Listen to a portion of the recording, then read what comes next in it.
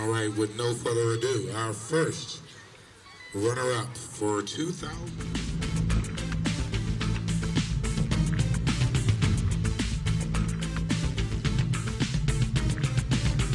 Welcome back into the pregame, everybody. We're lucky enough to be able to catch up with the head coach, Tommy Atha. And, coach, last week was kind of a crazy week with the shuffling of schedules and things of that nature. And I remember last week in our conversation, you talked a bit about with the shuffling of the schedules and all those kind of things, homecoming activities, that you really felt like you're reflected in the way that we started last week. Coach, I know when you've got a game like that and you guys were up 38 to 0 at halftime, running clock in the third and fourth quarters, one of the really good things about those types of situations is the opportunity to get your young guys into the game, get snaps. I know you use four quarterbacks in the game. A lot of guys got their name called, and th- that type of experience I know pays dividends further down the road. Well, I think it does in several ways, Matt. I, I think it's important, you know, from the standpoint of of just uh, building your program and continuing to try to do those things to to allow you to hopefully continue to be successful by those kids getting better and getting quality snaps. And I think it goes a long way towards buy-in from your own kids, you know, who go out there and practice hard every week and get an opportunity to get into a varsity game. Hopefully, keeps them motivated. And coach, of course, last week, Bowden Owens, Eli Thompson, Talon Shirey, Clevenger, Slade Clevenger, Demarion Floyd, all five of those guys scored touchdowns in the game. And one of the things you've talked about a lot this season is the ability that you guys have to distribute the ball and have a lot of different playmakers. And that was a full on display last week. I don't know if you'll remember, but that was one of the things we harped on after the spring game up at North Murray was just so many different guys got touches and, and so many different guys contributed. And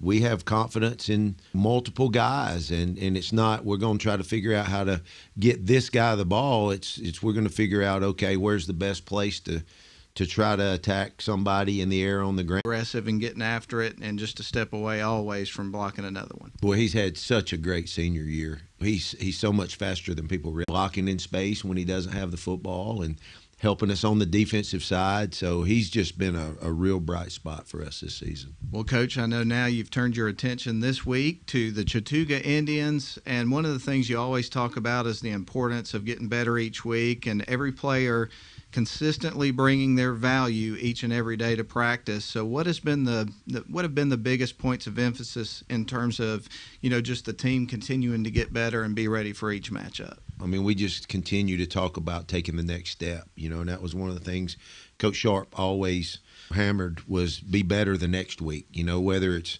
game two after game one or on down the line, you just want to continue to improve.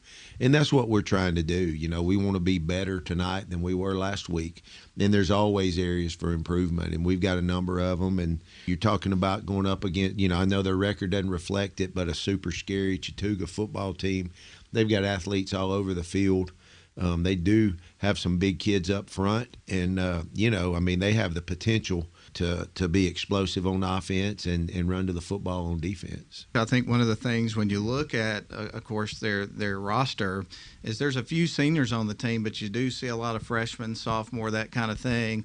And a lot of these kids I've seen play basketball over the last couple of years, and, and you're right, there's some really athletic kids on these teams. And so uh, if you're not careful, you, you, got some guys can break big plays. So I'd imagine that's something y'all really focused on this week. No doubt. And it's always been that way. I, I grew up playing against Chattooga. I've coached against them for years, and they've always had kids that could break the game wide open and it's the same thing this year, you know. And so we've really worked hard on making sure we're sound, that we don't give up chunk plays on defense, and that, that you know we don't allow run throughs when we're on offense, and uh, hopefully we eliminate them from making big plays and, and, and do what we're supposed to do. And of course, one of the things, if you've ever been up, and I know you have multiple times to the Little Bighorn, folks in Chattooga County, they love some football, so it ought to be a great atmosphere for a road game. There's no doubt. Every time you go up there, and, and Darlington Chattooga games have always been super competitive games, and uh, we don't expect anything else anything less than that, and their fans will show up. I, I, think it's homecoming, if I'm not mistaken. So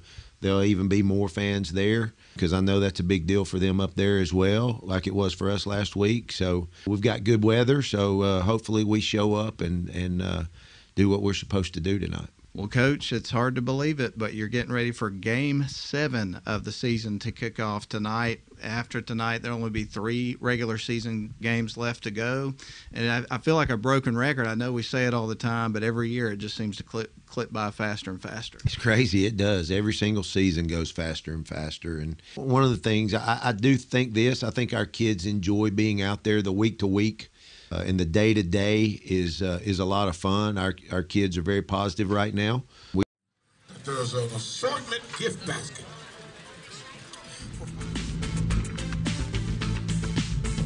regular season games. Though you have multiple times to the Little Bighorn. Folks in Chattooga County, they love some football, so it ought to be a great atmosphere for a road game. There's no doubt. Every time you go up there, and, and Darlington Chattooga games have always been super competitive games and uh, we don't expect anything else, anything less than that. And their fans will show up. I, I think it's homecoming, if I'm not mistaken. So there'll even be more fans there because I know that's a big deal for them up there as well, like it was for us last week. So we've got good weather, so uh, hopefully we show up and and uh, do what we're supposed to do tonight. Well, Coach, it's hard to believe it, but you're getting ready for game seven of the season to kick off tonight. After tonight, there'll only be three regular season games left to go. And I, I, feel like a broken record. I know we say it all the time, but every year it just seems to clip, clip by faster and faster. It's crazy. It does. Every single season goes faster and faster. And one of the things, I, I do think this, I think our kids enjoy being out there the week to week uh, and the day to day is uh, is a lot of fun. Our our kids are very positive right now. We want to make sure that we do everything we can to continue that, but it does go by very fast for sure. And one of the things that I just kind of an observation, I know every year the chemistry of teams is different and those sorts of things, but it really appears, at least from sitting up in the booth and watching these kids play, that they're having a lot of fun and there's a lot of camaraderie and just a lot of team chemistry with this group this year. Yeah, it starts with your seniors. There's no doubt about that. Our seniors love to play football.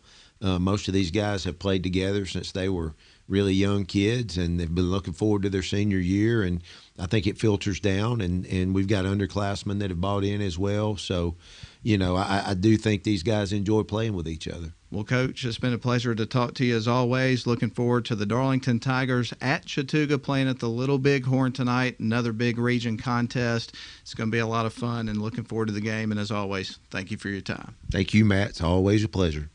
All right, that's going to put a wrap on our conversation this week with head coach Tommy Atha, and we're going to take a break. And when we come back, we'll continue to set the stage for you. It's the Darlington Tigers at Chattooga Indians coming up in just a little bit, right here on WLAQ and the Darlington live stream. We'll be back.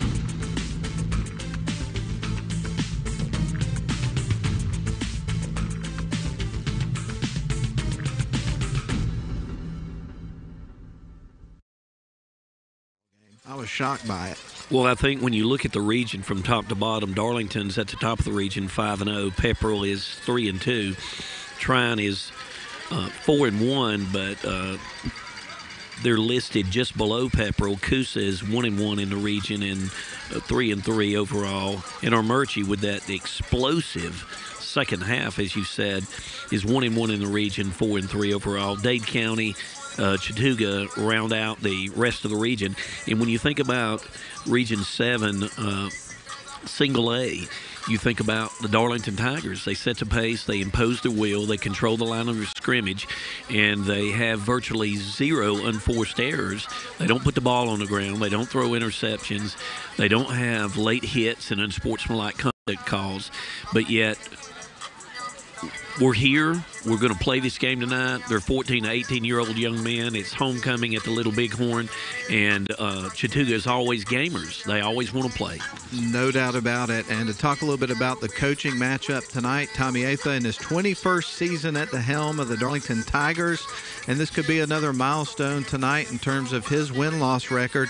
Uh, Tommy Atha, after winning last week, 174 wins and 65 losses for his career as head coach at Darlington and as head coach, period.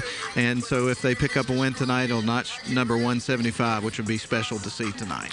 Well, when you say Tommy Atha and you say uh, Coach Tommy Atha, 21st season as head coach at Darlington, and he has never had a losing season. Ladies and gentlemen, that's worth repeating.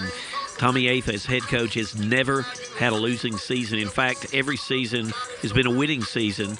In 2021, he ran off 11 wins, and it was game 13 when we uh, were finally uh, put out of the state playoffs, just two games short of winning it all. That's right. And, you know, I do want to mention the head coach of Chattooga also, Sean Peak. This is his third season at the helm of the Indians. 9 and 18 since taking over for Charles Hammond, who was the head coach for six seasons. And you've seen Chattooga in the playoffs for the last eight seasons in a row. So even though the win loss record, um, you know, has been tough, I think some of that has to do with strength of schedule and things of that nature over the course of a couple of seasons. And they've kind of surged late in region play to find themselves in the playoffs. So um, no doubt he'll have them playing hard in this game. He was a head coach at North Sand Mountain for a while, North Jackson and Pisgah, was a defensive coordinator at South Pittsburg up in Tennessee five seasons after retiring from the Alabama education system before he took this job. Um, and, and so, like I say, he's got a tremendous amount of experience. He's going to have these guys ready to play. Well, Ian Griffin always does an excellent job with V3 Magazine. And Ian, we, we need to shout out to you again. We miss you tonight. And we our condolences and prayers with your family.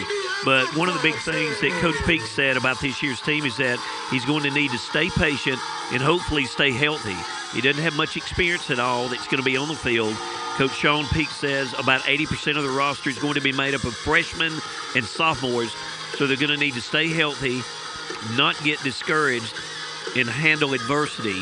And the tale of two halves last week is the very adversity that I'm sure we're going to see how well they've handled that in their preparation this week for Darlington. Well, Rick, right now as we speak, the yep. captains are making their way onto the field. We'll give you Chattooga Indians. You got number four, Trey Smith, number five, Brady Gross, also number 54, Bobby Zinga, and number 72, Juan Roque. That is their captains for tonight for your Darlington Tigers. We're going to start with big man number 66, the Gus Bus, Gus Gamage.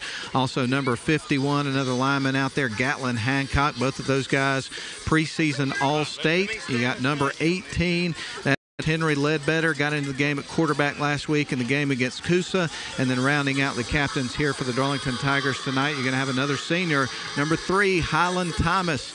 So there are your captains for tonight. We're going to have the coin toss, and we'll get things underway from the Little Bighorn coming up in just a couple of moments, man. You can feel football in the air tonight. Absolutely. It's a full moon. Can we say a harvest moon? I'm not sure I don't officially. Know. I don't, I don't know. know. I'm not a farmer, but it, it looks big and it's low. you might could have been. Who knows? you know, okay. I don't know what I meant when I said yeah, that. I know it. I, I might could I have could have been, been, a, a cowboy. Also. That would yeah, have been okay, awesome. all right, yeah. You could have been anything you wanted to be. I tell you, tonight we're going to be all things Darlington because it's great to be a Tiger on a Friday night, right, Matt? Ain't nothing like a Tiger on a Friday night. You There's said no it. Question about it, or as in the case of last week, on a Thursday night. Absolutely. And I know they played a playoff game a year or two ago on a Saturday night. So That's just right. fill in the blank, whatever That's night right. of the week it is. It's Absolutely. The Darlington fans have come in, and, uh, you know, when you talk about on a Friday night, you know, the parents are working and traveling. They have other children at other age levels, and we just we have a good crowd. We travel well, and the Darlington family really just supports every sport at Darlington. There's no question about that. Here comes the coin toss, so we'll have the results of that for you here in just a couple of moments. And again, we're glad you're with us tonight on WLAQ and also the live video stream. It looks like Darlington has won the toss, and no surprise at all, they've deferred to the second half. That's the uh, best move you could always make because if you can end the first half in the lead and the momentum you can take into the start of the second half because you're going to have the ball first. So we're going to see the Chattooga Indians offense first in this game. And as we pointed out, a lot of times they haven't had a tremendous amount of success in terms of wins and losses this year. But I've seen a little bit of film on this football team, and they do have some really athletic kids. Some names we'll be calling tonight. Uh, of course, Corey Gibson, their quarterback, real athletic quarterback. You've got Dan Meyer, who's a wide receiver, a sophomore. A couple of seniors to point out, Zayden Perry, Trey Smith. All of these guys are, are guys that are a step away from breaking a big play if you're not careful on defense. Well, their their uh, big players seems to be their sophomore, and that tells you that they're playing for the future. With 80% of their team, as Coach Peak said, freshman and sophomore this year. He's uh, going to be able to throw the ball. He's athletic. He can run or throw. I expect to see some uh, rollout option, pass or run from uh, their quarterback, and they've got to find a way to penetrate Darlington's defense. And for our radio listeners and listeners of WLAQ, I do want to let you know we've got a lot of great programming coming up for you this weekend. We're going to have Georgia Tech Duke. It's homecoming for Georgia Tech tomorrow. Pregame at 2 o'clock on WLAQ, 4 o'clock. Toe will meet Leather. And then we'll have CBS Sports most of the rest of the weekend. And then next Tuesday, we're excited to have game one of the NLDS with your Braves. Who will they face? Well, it's going to be the Cardinals or the Phillies. We'll find out. I think either one the Braves will be prepared for because what 170 days the New York Mets were in first, and then until we clinched, we were in first five days. That just tells you, you know, at the end the Braves are going to be there. Well, you know what? I kind of hope it ends up being St. Louis because I got a bad taste in my mouth from the last time I went to an NLDS game featuring the St. Louis Cardinals and the Braves. Yep, we were at the game where the Cardinals scored 10 runs in the first inning and the game was over before it felt like it was beginning. Well, let's Awful. wish for the let's wish for the Cardinals. And we stayed until the bitter end of that game, hoping for a miraculous comeback that never happened. So Well, the Braves have would be done it before, but that that 10 runs in the first inning, wow. You're not kidding. And it was Foltynewicz who started that game, and then they brought in, I believe, Max Fried, and he didn't have any more success uh, than Folty did that night. It was rough. But well, the the beautiful thing about tonight is the the weather is perfect. There's no breeze. We have a full moon. We're up here in a beautiful area of Georgia. Chattooga County is gorgeous. The people are so nice and courteous. And we're sitting outside, Matt, and I'm glad we're not in the booth. Oh, I am too. It's a perfect night for football, and we're about to get it underway as the Tigers have got it teed up at the 40, ready to kick it to from right to left. A couple of men back deep here for Chattooga. The man the furthest back is going to be Trey Smith. And tonight, the Darlington Tigers are in all their all white uniforms. Make some noise! Got the purple letters and numbers. The Chattooga fans have been cued to make some noise. Here's the kickoff. It's going to be kicked towards the corner from Ryland Scott, and the ball is going to be loose. Diving for it are the Tigers, who think came the up Tigers with it. have The got Tigers have. Did they get it? No, I think the Chattooga Indians have got the football. Well, I think we've served notice that uh, every play, kickoff, special teams, we're going to be on the spot for the ball, and we're going to want to control the game as much as we can.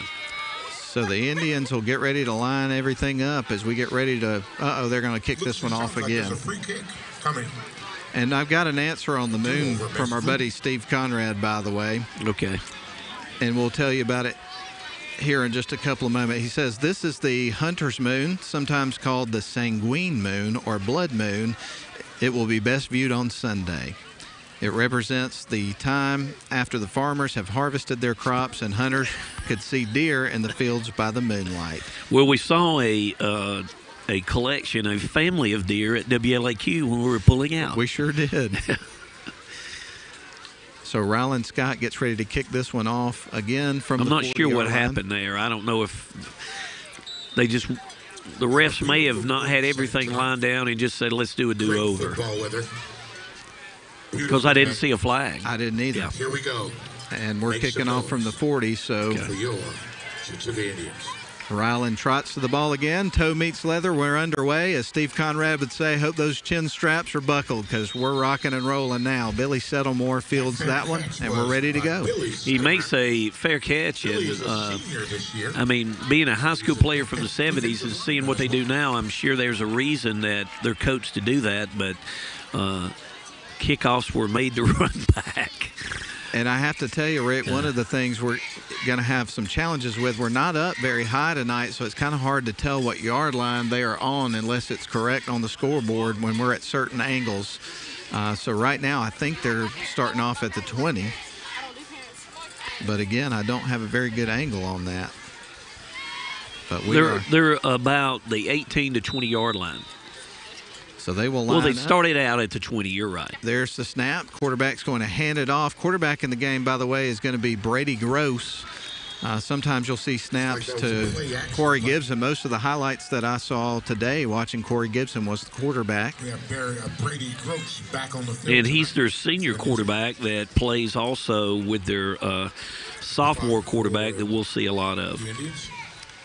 And they just mentioned on the PA that he's back on the field tonight, so he must have been injured for the couple of games that I was able to watch a little bit of film from. They're going to send a wide receiver off to the far side, couple to the near side. Chattooga's in their red jerseys. They got black breeches on, and their uniforms look a lot like the Utes, the Utah Utes. There's the snap. Gross takes the snap. He's going to hand it off. They run up the middle. Look at the wheels on that young man. He's going to be brought down, but he does get a pretty good pickup there on second down. That was Corey Gibson that we were just talking about. Will the uh, the the hole that uh, Chattooga opened up was really wide enough for him to break it further than he did. The closure that Tigers number 24 Bowden Owens put on uh, the ball carrier for the tackle may have been potentially touchdown saving. Well, that was a good run there again for Corey Gibbs, and That sets up a third down and one here for the Chattooga Indians. They'll shift some personnel around as they get ready to take this big snap. As the Tigers try to pin their ears back, here come the Indians. They'll be in tight for this particular formation. Quarterback Gross takes the snap, turns, hands it off, and he has stood up. That is not going to be enough to get the first down there, Rick.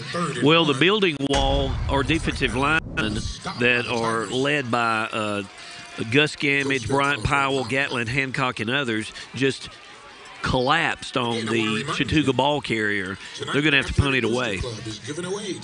So a three and out here for the Chattooga Indians, and the ball is going to be kicked back to the Darlington Tigers. Got a dangerous man right there at the 42-yard line with Talon Shirey, always a step away from breaking the big one. No question about it. He's going to feel this if he can, and we'll just see if they kick it to him or away from him. Hunter Brown, the punter, is about to kick it away here for the Chattooga Indians as the Darlington Tigers again have Shirey. We may block this.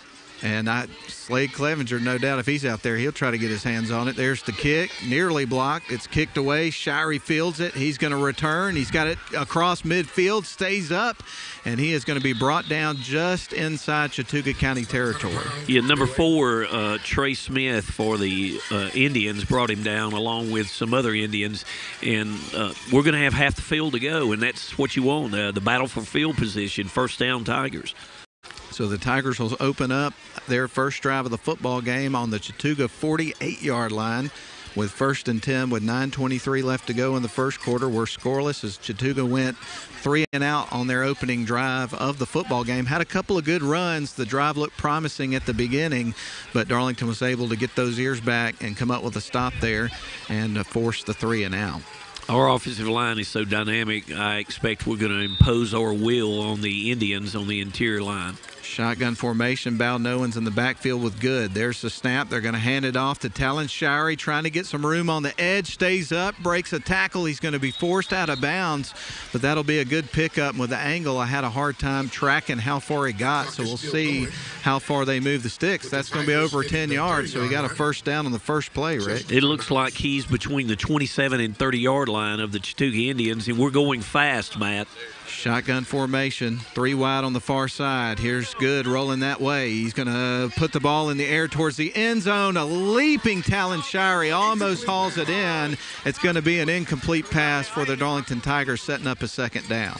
Well, you know, the thing about Jack Good is, you know, and I always say it every time I'm blessed to be in the booth with you, Matt, that the other position they have him down is, uh, if he's not playing quarterback, is linebacker. So he's tough.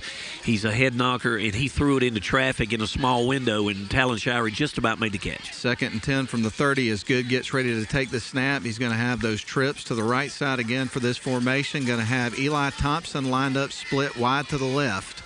Good getting ready to take the snap. He's got the ball in his hands, turns, hands it off to Bowden Owens right up the middle, breaks a couple of tackles, spins at the end of the play, and picks up a big chunk of yards on first down. It appears that the Tigers have the first down, and I mean, Gus Gamage, uh, Powell, and Hancock and others plowed a road.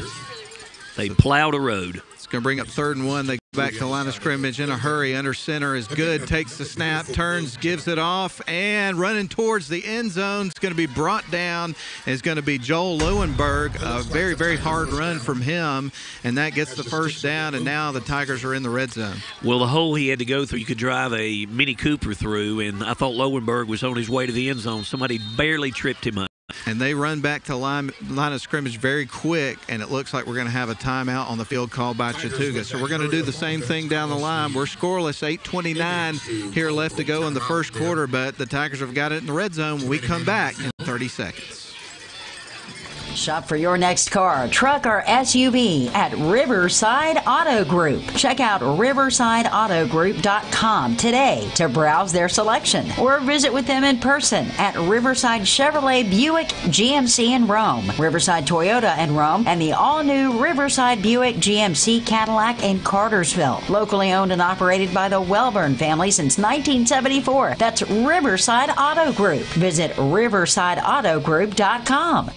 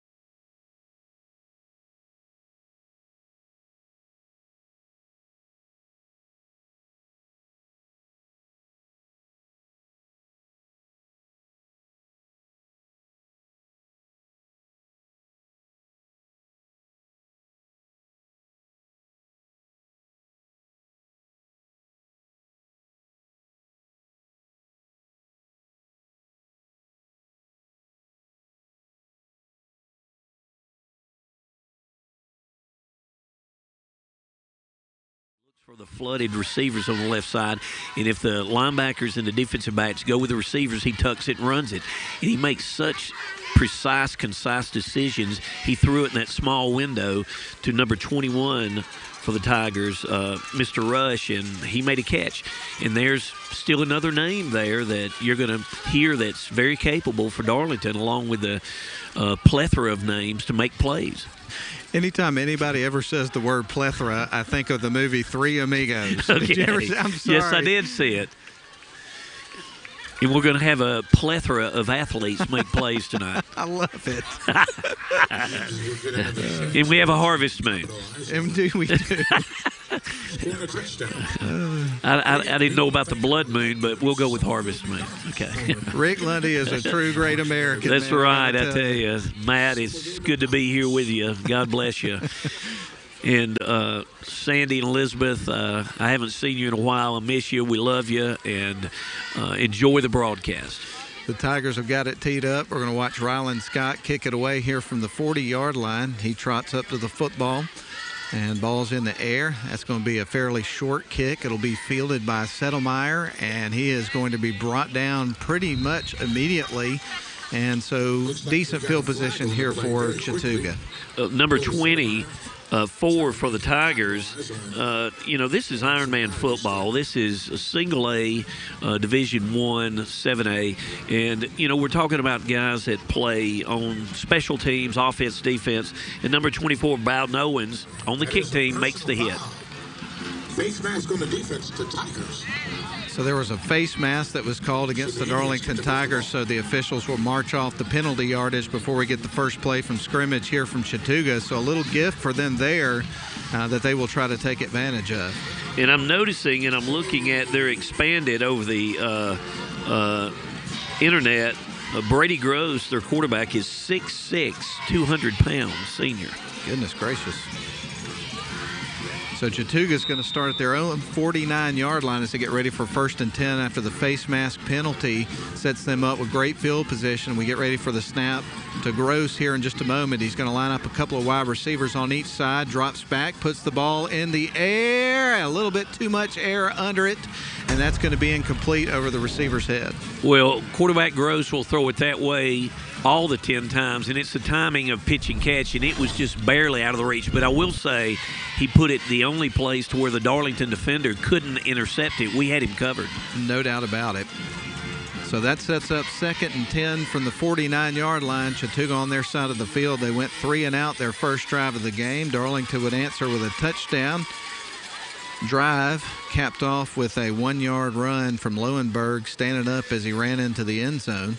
Nobody touched him, and Darlington's up 7 to 0. As we get ready for Gross to take the snap, couple wide receivers on the short near side of the field. They're going to hand it off and try to run Wow. it to the left side, and a wall of Tigers is waiting. Hand it off to number three, Zayden Perry. Zayden Perry, the ball carrier. movement at all there. I mean, that's a, a pack of Tigers. Uh, uh, Gus Gamage, uh, Talon Shirey, and others uh, really made a big hit. It's like he seems to be moving for the uh, line of scrimmage, but we're controlling the uh, point of attack, and then the wall of Darlington Tigers collapses on the running backs Gross of the line- Indians. Gross lines his team up from the 49 with a third down and nine coming up here on this next snap. Going to send a couple of wide receivers on each side of the formation. and the backfield remains Zayden Perry as we get ready for the next play to begin. Third down and nine. Here comes the snap, dropping back.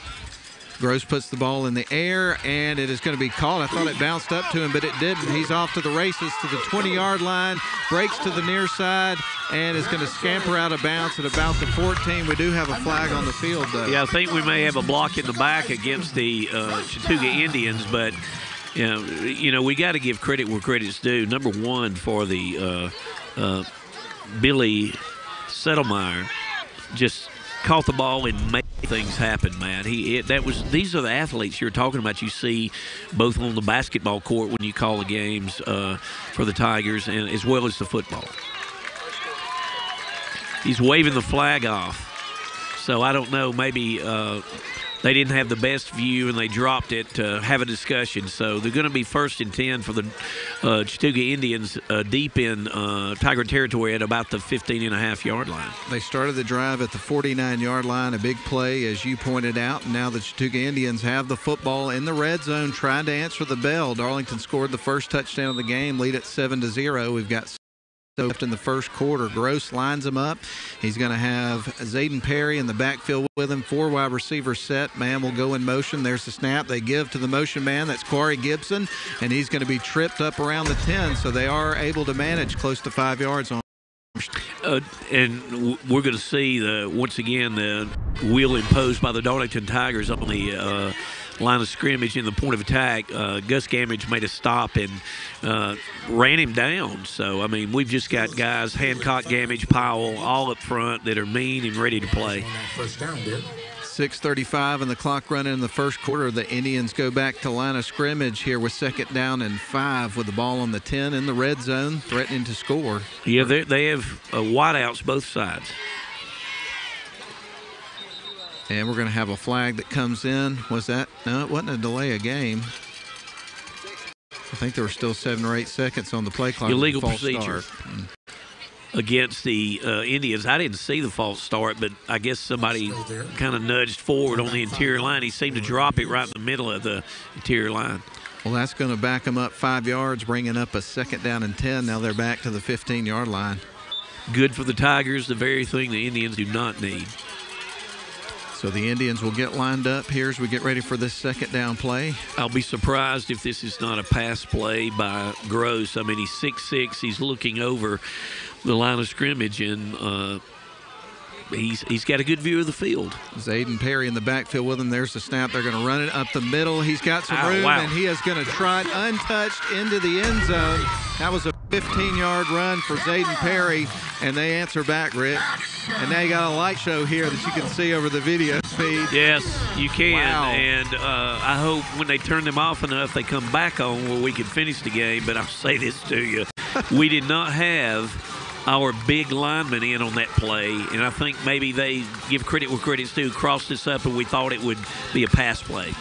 But our, our biggest lineman, when he ran it right up the middle, weren't there uh, by substitution that we had done. We get ready for the point after attempt here by big number 72, one Roke. Roque, excuse me, Roque. He's a captain for them tonight. And the kick is on the way, and it's got plenty of leg, and it is right through the upright. So we're tied up at seven apiece. seven apiece. Uh, Chattooga Indians, not to be uh, thought to be an easy game. Uh, the last in the region is not affecting them at all. They're here to try to give Darlington Tigers a game. So we've got 5.54 left to go here in the opening quarter of play. Chattooga playing at home tonight. It's their homecoming night. They did all the festivities before the game. A lot of times you see them bring out the homecoming court at halftime. Did a little different up here tonight. Uh, but I tell you what, man, the folks up in Chattooga County, they got a big crowd tonight. They love their athletics programs, and they're they're here tonight to have some fun and watch some football. Good crowd, good food, perfect weather, and a harvest moon. You're loving that, aren't you? Yeah, I'm, that, that- you'll hear that eight or twelve more times tonight. But do you know the Neil Young song "Harvest Moon"? Yes. What a beautiful song It that is. Absolutely. And this uh, red hue that shoots up their uh, uh, lighting for their field is pretty cool. Roque kicks it away, and a fair catch is going to be signaled by Timmy Smith of the Darlington Tigers. So going to have good field position again, Absolutely. about 35. Absolutely. 35 yard line, Timmy Smith. He was he did the right thing. He made the catch. And you'll hear his name. Uh, He'll be putting a hit on someone. He just signaled for the fair catch for the kickoff for the Indians, and the Tigers are set up on the 35. And I would chance to say that we're going to be eager to try to get that touchdown back. I would happen to agree with you, Rick. But the Tigers are going to line up at the 35 yard line. Their first drive, they would be on the Chattooga 48, would score on a one yard touchdown run from Joel Lowenberg, the sophomore. And the Tigers get ready to line up with D Man Floyd in the backfield with Jack Good. They're going to send a couple of wide receivers to each side of the formation here for this first and 10, working right to left. There's the snap. Good has got company, and he's going to take a loss and a sack. Did a decent job of protecting the football, but that's a big loss there for the Tigers on first down. Well, credit where credit's due. Once again, number 52, uh, Richard Bass, a junior for the Chattooga Indians, got in there and made his way in and made the play. So the Tigers lost 10. That's going to bring up a second down and 20.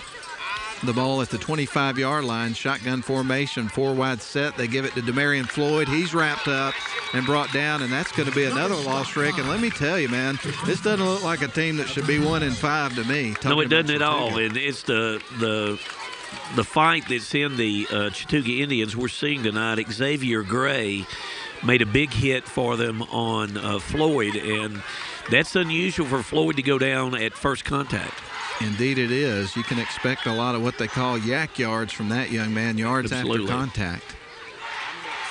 Going to have four wide receivers here for this third down and 21. There's not a lot of plays in the playbook for this one. There's the snap, dropping back is good, puts it in the air, a screen pass connects, a flag comes in, and he gets hit right away. The defense was ready for the screen. They absolutely were. It looks like there's going to be a hold against the Darlington Tigers given the placement of the flag.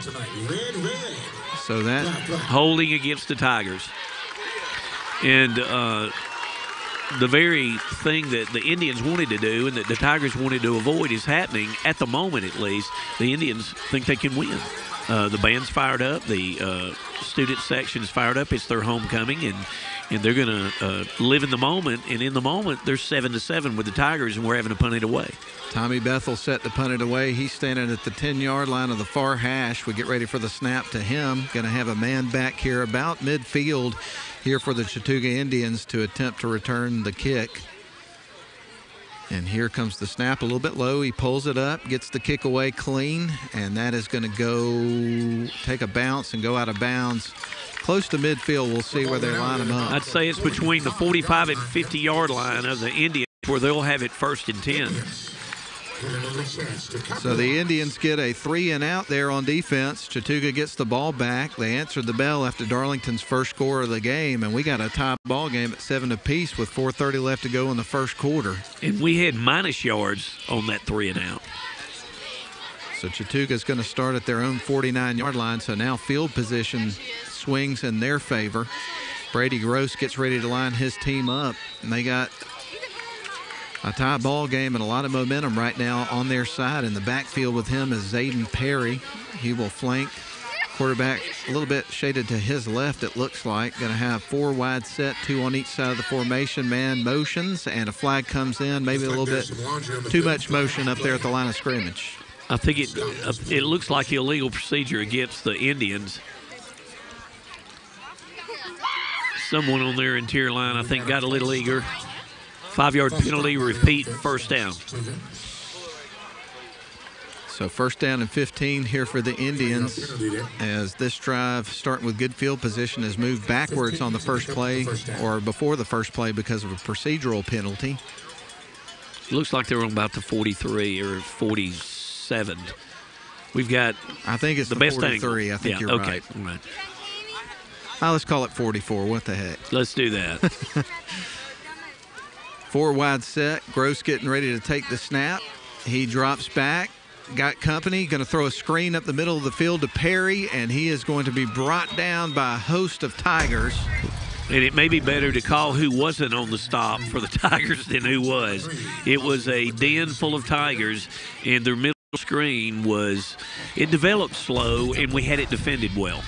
Now, his last name's Perry, talking about Zayden. I wonder if it's any relation to the great Senorise Perry, who played here, I don't know, 12 or 13 years ago, played in the NFL for a number of years, and played college football at Louisville. Yeah, he was their difference maker and probably their marquee player that's come out of here in uh, the last, what, 30 or 40 years? No doubt. Four wide set here for this second down and long. Dropping back as Gross puts it in the air, connects with his wide receiver, Dan Meyer, and he's going to be hauled out of bounds.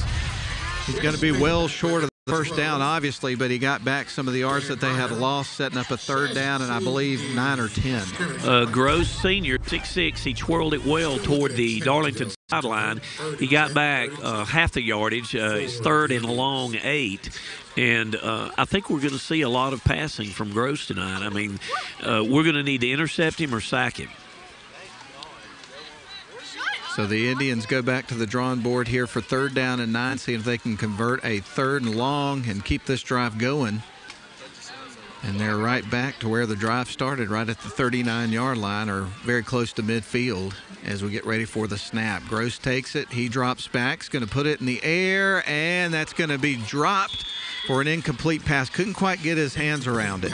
No, it was there. It was where, as a receiver, you touch it, you need to catch it. And He had both hands on it, uh, and we'll probably see plays out of number 11 in the future. But once again, we're half a step right with the receiver, and we had good coverage.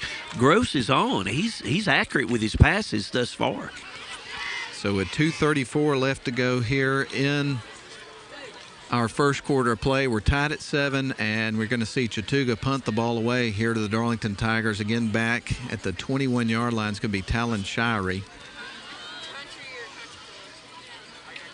He had a good return. Uh, the last one he fielded, and it wouldn't surprise me if he breaks one. And here comes the punt. It is going to drop and roll back inside the 20 all the way down to about the 10 yard line. So a good punt there by number 19, Hunter Brown. Yeah, those are the ones you like to see fair caught by uh, uh, the Tiger receiver, but probably Talon Shirey being right there and in the theater of it. He had three or four uh, Chattooga Indians hovering as the ball was coming down. So the better decision was to let it roll. We've got it on the 10. Let's see what the offense can do. I think we're ready to open it up. So the Tigers come back to line of scrimmage just shy of the 10 yard line with first and 10. They got to go 90 yards to get some points. And we're all tied up at seven apiece with 2.25 left to go and a pretty fast moving quarter under the harvest moon here at the Little Bighorn. Yeah, it's a it's a harvest moon. It's uh, you know many things for farmers, but I think you know that to harvest those crops with that uh, full moon would be excellent. Shotgun formation. Bowden Owens in the backfield. They're going to give it to him, and he goes off to the right side and is going to be stood up. I don't believe they got anything on that play. No, uh, uh, less than a yard. It seemed to develop slow. Uh, it could be that the uh, Yard there for the interior line of the Indians may just be nearly submarining or just going into the waist of our players, just trying to clog the middle. Because uh, I know our offensive line is going to figure out how to rip these holes open. Ashton Albers is going to be split wide to the near side. Tigers working right to left. In the slot here on this near side is going to be Talon Shirey. A couple dangerous weapons there. Shotgun formation for second down and nine. Here's the snap to good. He is going to hand the ball off to Owens, runs around the edge on the near side, and then he pummels a couple of defenders as he gets the yard, the extra yard there at the end to get the first down. First down, he, he you're right. He he squared his shoulders and ran behind it, ran behind his pads well, and just rammed it for the first down. So that brings it out to the 22 yard line. Darlington Tigers with a first down. Once again, Powell and Gamage and Hancock folded down what would be the right defensive side of the Chattooga line of scrimmage by the left uh, offensive side of the Darlington Tigers. Lowenberg in the backfield. They're going to hand it off to Eli Thompson. He's following Lowenberg, stays up, breaks couple of tackles. He's across the 40 and down to midfield before they get him out of bounds. What a run by Eli Thompson. Eli Thompson picks and uh, darts his way through. And what I'm very impressed with, obviously, with Eli Thompson's run, is 40 yards downfield was number 66, Gus Gamage, leading him. And that was about a 25 yard run right there from Eli. And now the Tigers got a fresh set of downs almost at midfield, still on their side of the field. Shotgun formation, trips to the near side, a handoff to Demarion Floyd, lowers his helmet and gets all the way down to the 40 yard line, I believe, before they haul him in. Uh, so a good pickup there on first down for the Tigers. Uh, Demarion Floyd has deceptive strength. He can uh, accelerate and make it through a hole, but if there's not a hole there, he's going to make you account for having to tackle him. And it, and uh, Steve just hit us up. It's a hunter's moon, which is different from the harvest moon. Okay, it's not a well, we're going to go with a hunter's moon, and we did see deer I at just- WLAQ, didn't we? We did, and I just wanted to make reference to the song. Yeah, I did. I, I like think it was an excellent reference. Is there a timeout? What do we have? That's the end of the quarter. The end of the quarter. All right, we're tied up at seven apiece. Darlington with the football. When we come back, we're going to send it back to the studio for one minute down the line. We're glad you're with us. We'll be back.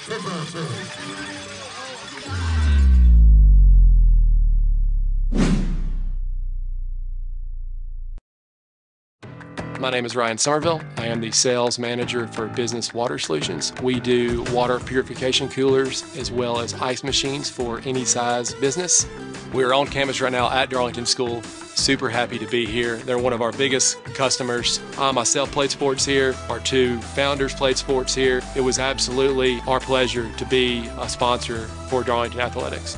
I think one thing that really sets us apart is our water purification. There's 13 stages. The reverse osmosis part of it has been a huge part of our success, along with our 24-hour guarantee for service calls. So when a customer does call us, we're within guaranteed within 24 hours. We were able to provide a touchless water system to make it more COVID friendly in terms of germs and, and touching the, the water system. One thing I always say is we're not selling a product, we're selling our service. That's what we really push for every single day is to have a customer service experience like they've never had before.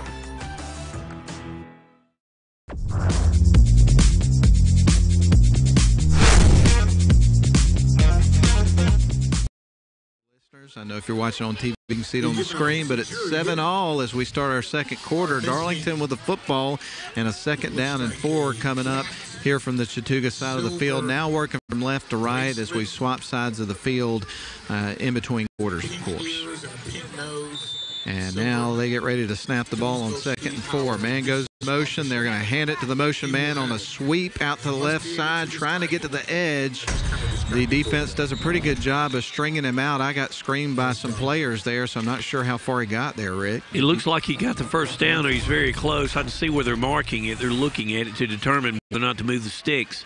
But uh, Darlington, once again, is kind of a student body left. It developed slow, and he stalked uh, behind his blockers to look for a, a, a seam to run up. He didn't get the seam. Credit to the Indians, but it's close. And it was brought back. So Oh, this is it was. Bring back And on the field. a second down and eight for the Tigers as they get lined up. Second down and nine, rather. I don't know why that was brought back, but it certainly was. Second down and a long eight. So they'll line up with Demarion Floyd to the right of Jack Good, the quarterback. Three wide set here for second and nine. There's the snap. Going to give it to Demarion Floyd. Runs out the edge on the left side. He's got some room running down the sidelines, and he's going to be pushed out of bounds after getting the first down and more. So a big play for D-Man. Well, uh, once again, Demarion Floyd, he's a patient runner. He's calculated. Uh, he's stalking the moment to hit that seam, and he, he was able to stay behind his blocking for a nice game for the Tigers. And we're going fast. First and 10 from the 39 yard line. Shotgun formation. Dropping back is Jack Good. Going to put it in the air. It looked like nope. He's going to have to tuck it and run. He is going to be up. Picks up about nine yards before he's pummeled by Billy Settlemeyer. Took a hard hit, but he got up quick. He did one of those odd situations to where the person in front of him went low, and as he slowed up to deal with that low lick, the guy from behind him caught him up high. So that brings up a second one after the nine yard pickup from the quarterback Good using his legs. And he's a tough cookie, uh, Jack Good. There's the snap. He's going to hand it off, run back to the near we go. side from Demarion Floyd. Stutter step, stays up, and jumps at about the 13 yard line before he goes down. So another big pickup, a first down for the Darlington Tigers. And once again, you see how far downfield Powell and Hancock uh, are blocking for uh, the runner, and uh, excellent stalk block by number 19, Braden Bell, for the Tigers. Ball at the 14 yard line. First and 10 for the Tigers in the backfield. Demarion Floyd with Jack Good. Good turns, hands it off to Demarion, stays up, carries a man with him down to the eight yard line. A hard run of about five yards. Well, he the guy grabbed him by the waist and then just dropped his own weight, and Floyd carried him three of the five yards. You're right. So second and five for the Tigers from the eight yard line. They're going to change a little personnel here and get ready for this next snap. You're going to have Demarion Floyd in the backfield with Good. Also Lowenberg is in here for this package. You got Braden Bell split wide to the right. A couple of receivers on the left side. As we get ready for the snap here on second and five from the eight. Ball's in the hands of Demarion Floyd. Goes up the middle, and he's going to be brought down inside the five, get closer to the goal line. I think they're going to line him up probably around the three yard line. Uh, they are, and he went off to the left, and uh, Gus Gamage and others are getting pancake blocks. They're opening up some holes. We're running the ball now. First and goal here from the two. There's the snap. Demarion gets the rock, and he is going to be dropped just short of the goal line. At no, oh, he's he's a touchdown. in. My goodness, Touchdown. he's in. He got the two yards he needed, and the Tigers score again. Well, when he got low, he kept turning. You're right, Matty. He got in. Uh, uh, he, you better not stop tackling Demarion Floyd or any of the Tiger running backs until they are completely on the ground. And I should let you know that this Darlington scoring celebration is brought to you by La Scala Mediterranean Bistro. We got the extra point coming up, but for all your life's celebration moments, you need to call La Scala to help make them special. Call today to book your holiday parties or special events. That's La Scala Mediterranean Bistro. Here comes the kick. It's on the way, a little bit low, and it is going to be through though. So 14 to 7 Tigers on top. Uh, it's a good drive. It's a good drive to recover from uh, some instances to where uh, there was some bright spots for the Chattooga Indians, but that was a conquering drive for the Tigers, and we needed that. We needed it, Matt. No doubt about it. So we'll get ready for the Tigers to kick it back here to the Chattooga Indians. Indians. We want to remind you at halftime, we'll give you some scores for some other games that are going on tonight. And just to kind of give you a little bit of a preview of what we'll be talking about, Armuchee at Pepperell, Trion at Coosa, so some other 7A Division One games. You've got Fannin County at Model moving on to Double A.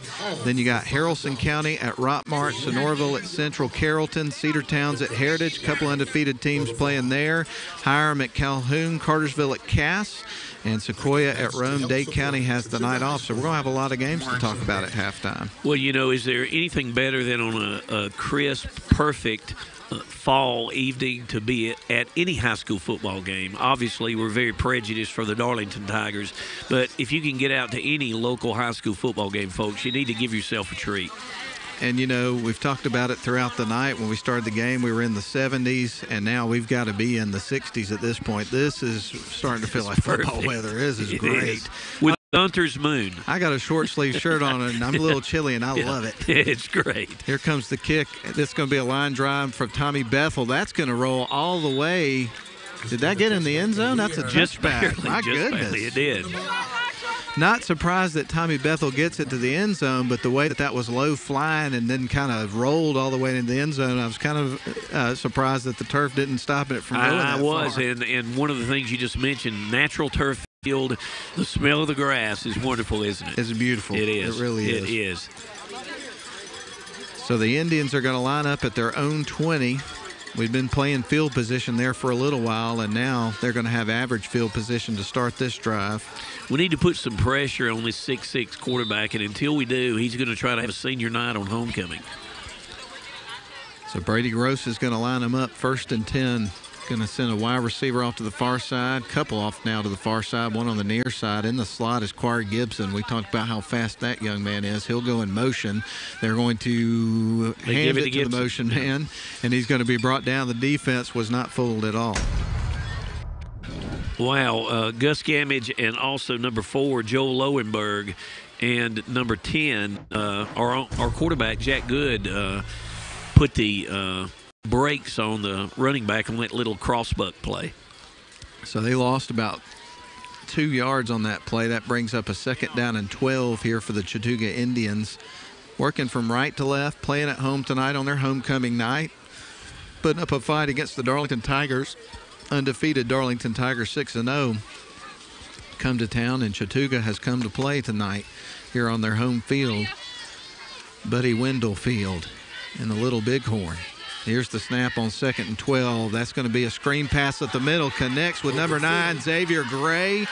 He's a great basketball player, and he's a heck of a wide receiver, apparently, as well. He's across midfield for a first down and in Darlington territory. And just like you said, great athlete from a steel position of catching the ball. His ability to accelerate was exceptional, and he's put it into Darlington territory. Let me tell you, man, I watched him play basketball last year as a freshman, and if he continues to develop, he is going to be special. I mean, he is really, really good. And he looks now like he'd be a special two-sport athlete. Xavier Gray that made that catch, a sophomore this year, playing for the Chattooga Indians. Gross is going to line them up first and 10. Now they got it at the 47 yard line of Darlington side of the field, working right to left. We've got to get to Gross. We've got to get to the quarterback. So the Tigers perhaps going to dial up pressure here on this play. There's the snap. They get to him, but he gets the ball out quick, and it's heading toward Quarry Gibson, and that's going to be an incomplete pass. Well, number one, Talon Shirey was in his uh, pocket, and uh, a perfect pass wasn't going to complete that if we know how Talon, uh, Talon is great as a defender. But uh, we had a lot of guys back there, but he just got rid of it quick, didn't he? He really did. So And, it, and that's what we're going to see a lot of. I think you're going to see a senior minded quarterback to try to find a way to complete a play. Second down and 10. We get ready for the snap with 8:13 left to go here in the first quarter. Darlington leading at 14 to 7 on the road here in Chattooga County. Going to have two wide receivers on each side of the formation here for the Indians, who have it at the Darlington 47-yard line for this second down and 10. Here comes the snap. Dropping back is Gross, puts the ball in the air, and that's going to sail over the intended receiver's head, Quarry Gibson. Another incomplete pass setting up a third and 10. It's an out route to the uh, left side of Gross's uh, li- uh, offensive line. He had the time, he was just high. He overthrew him. But we had coverage once again. We had a guy right on his shoulder, uh, Talon Shirey. So third and 10 here for the Chattooga Indians as the Darlington Tigers try to get a stop here. The Indians got it across midfield on a big pass play to Xavier Gray just a few plays ago. And taking time between snaps here. They're going to run it all the way down to the end of the play clock before they snap it. Quarterback. Did, they get it delay off? a game? Yeah. It was close. Nope, a timeout was called. I guess in fear of having to delay a game, they've called a timeout. They were cutting it close, so we're They gonna, were. we're going to take one as well. Darlington leads at 14 to seven. A third and 10 from the Darlington 47 coming up for Chattooga. When we come back in 30. Didn't like what they saw on the field there.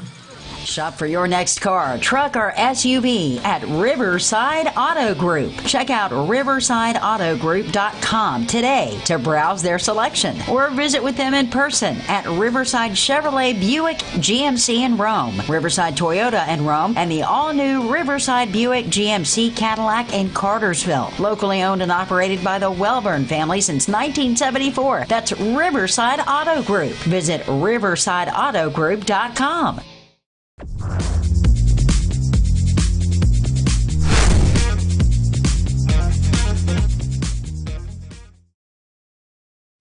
in Summerville, Georgia, up here in Chattooga County. We're at the Little Bighorn. They're playing on Buddy Wendell Field tonight. Chattooga Indians playing at home on homecoming. The Darlington Tigers here to try to spoil it, up 14 to 7 with 8:08 left in our first half of play. And this has been a really fun, competitive football game so far. Well, it, it, exactly right, Matt. Uh, the Chattooga Indians are f- trying to find a way to win this game. They know where they're at in the region standings, and they know that they have nothing to lose but yet another game. So they're battling. They're battling. There's the snap a little high, pulls it down, puts it in the air, a little bit wobbly, and it's going to be over the head of the receiver. A flag comes in, and I guess that's going to be a pass interference call. Five, Dan Meyer. It looks like that. Uh, Got some I thought it was uncatchable, and any well. incidental contact by Eli Thompson was not any didn't create any problems for the uh, receiver to get to the ball. But alas, that's why we have these referees, and they have called pass interference against the Tigers. Yeah, I'm a little bit surprised to see the flag on that play.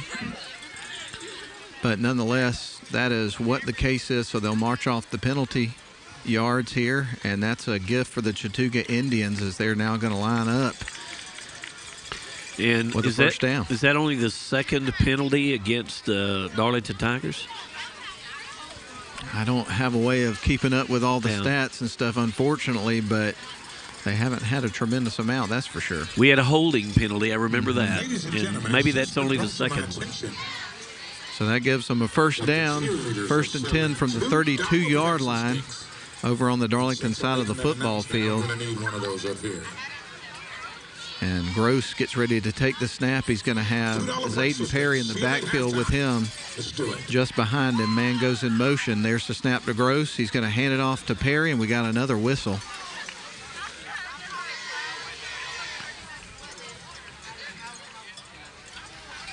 And again, we are Watching for the officials' call here on this one.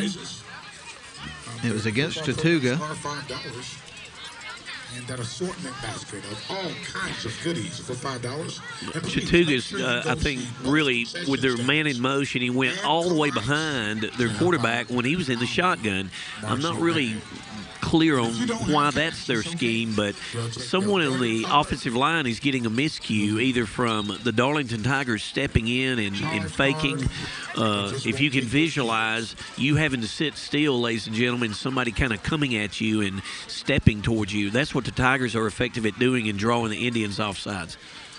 So this brings up first and 15 from the 37 yard line on Darlington side of the field. Chattooga with the football, trailing by seven, puts the ball in the air, and that is going to be intercepted by the Darlington Tigers. Coming down with it is going to be Jack Good. And number 51 for the uh, Darlington Tigers, Gatlin Hancock, said hello in a less cordial way than quarterback Gross is going to want to experience again right when he let it go. And I think that put air under it and no distance to it. And of course, Jack Good just caught it in center field. So the Tigers get the ball back with 7:34 left to go here in the first half. They're going to have first and 10 with the ball on the 20 after the Jack Good interception. And now Jack Good, who just intercepted the ball, will light his team up on offense and get ready for the first play of their next drive with Demarion Floyd in the backfield with him just behind him. He turns, hands it off to Demarion Floyd, and he is going to be tripped up after a short game. By number 52.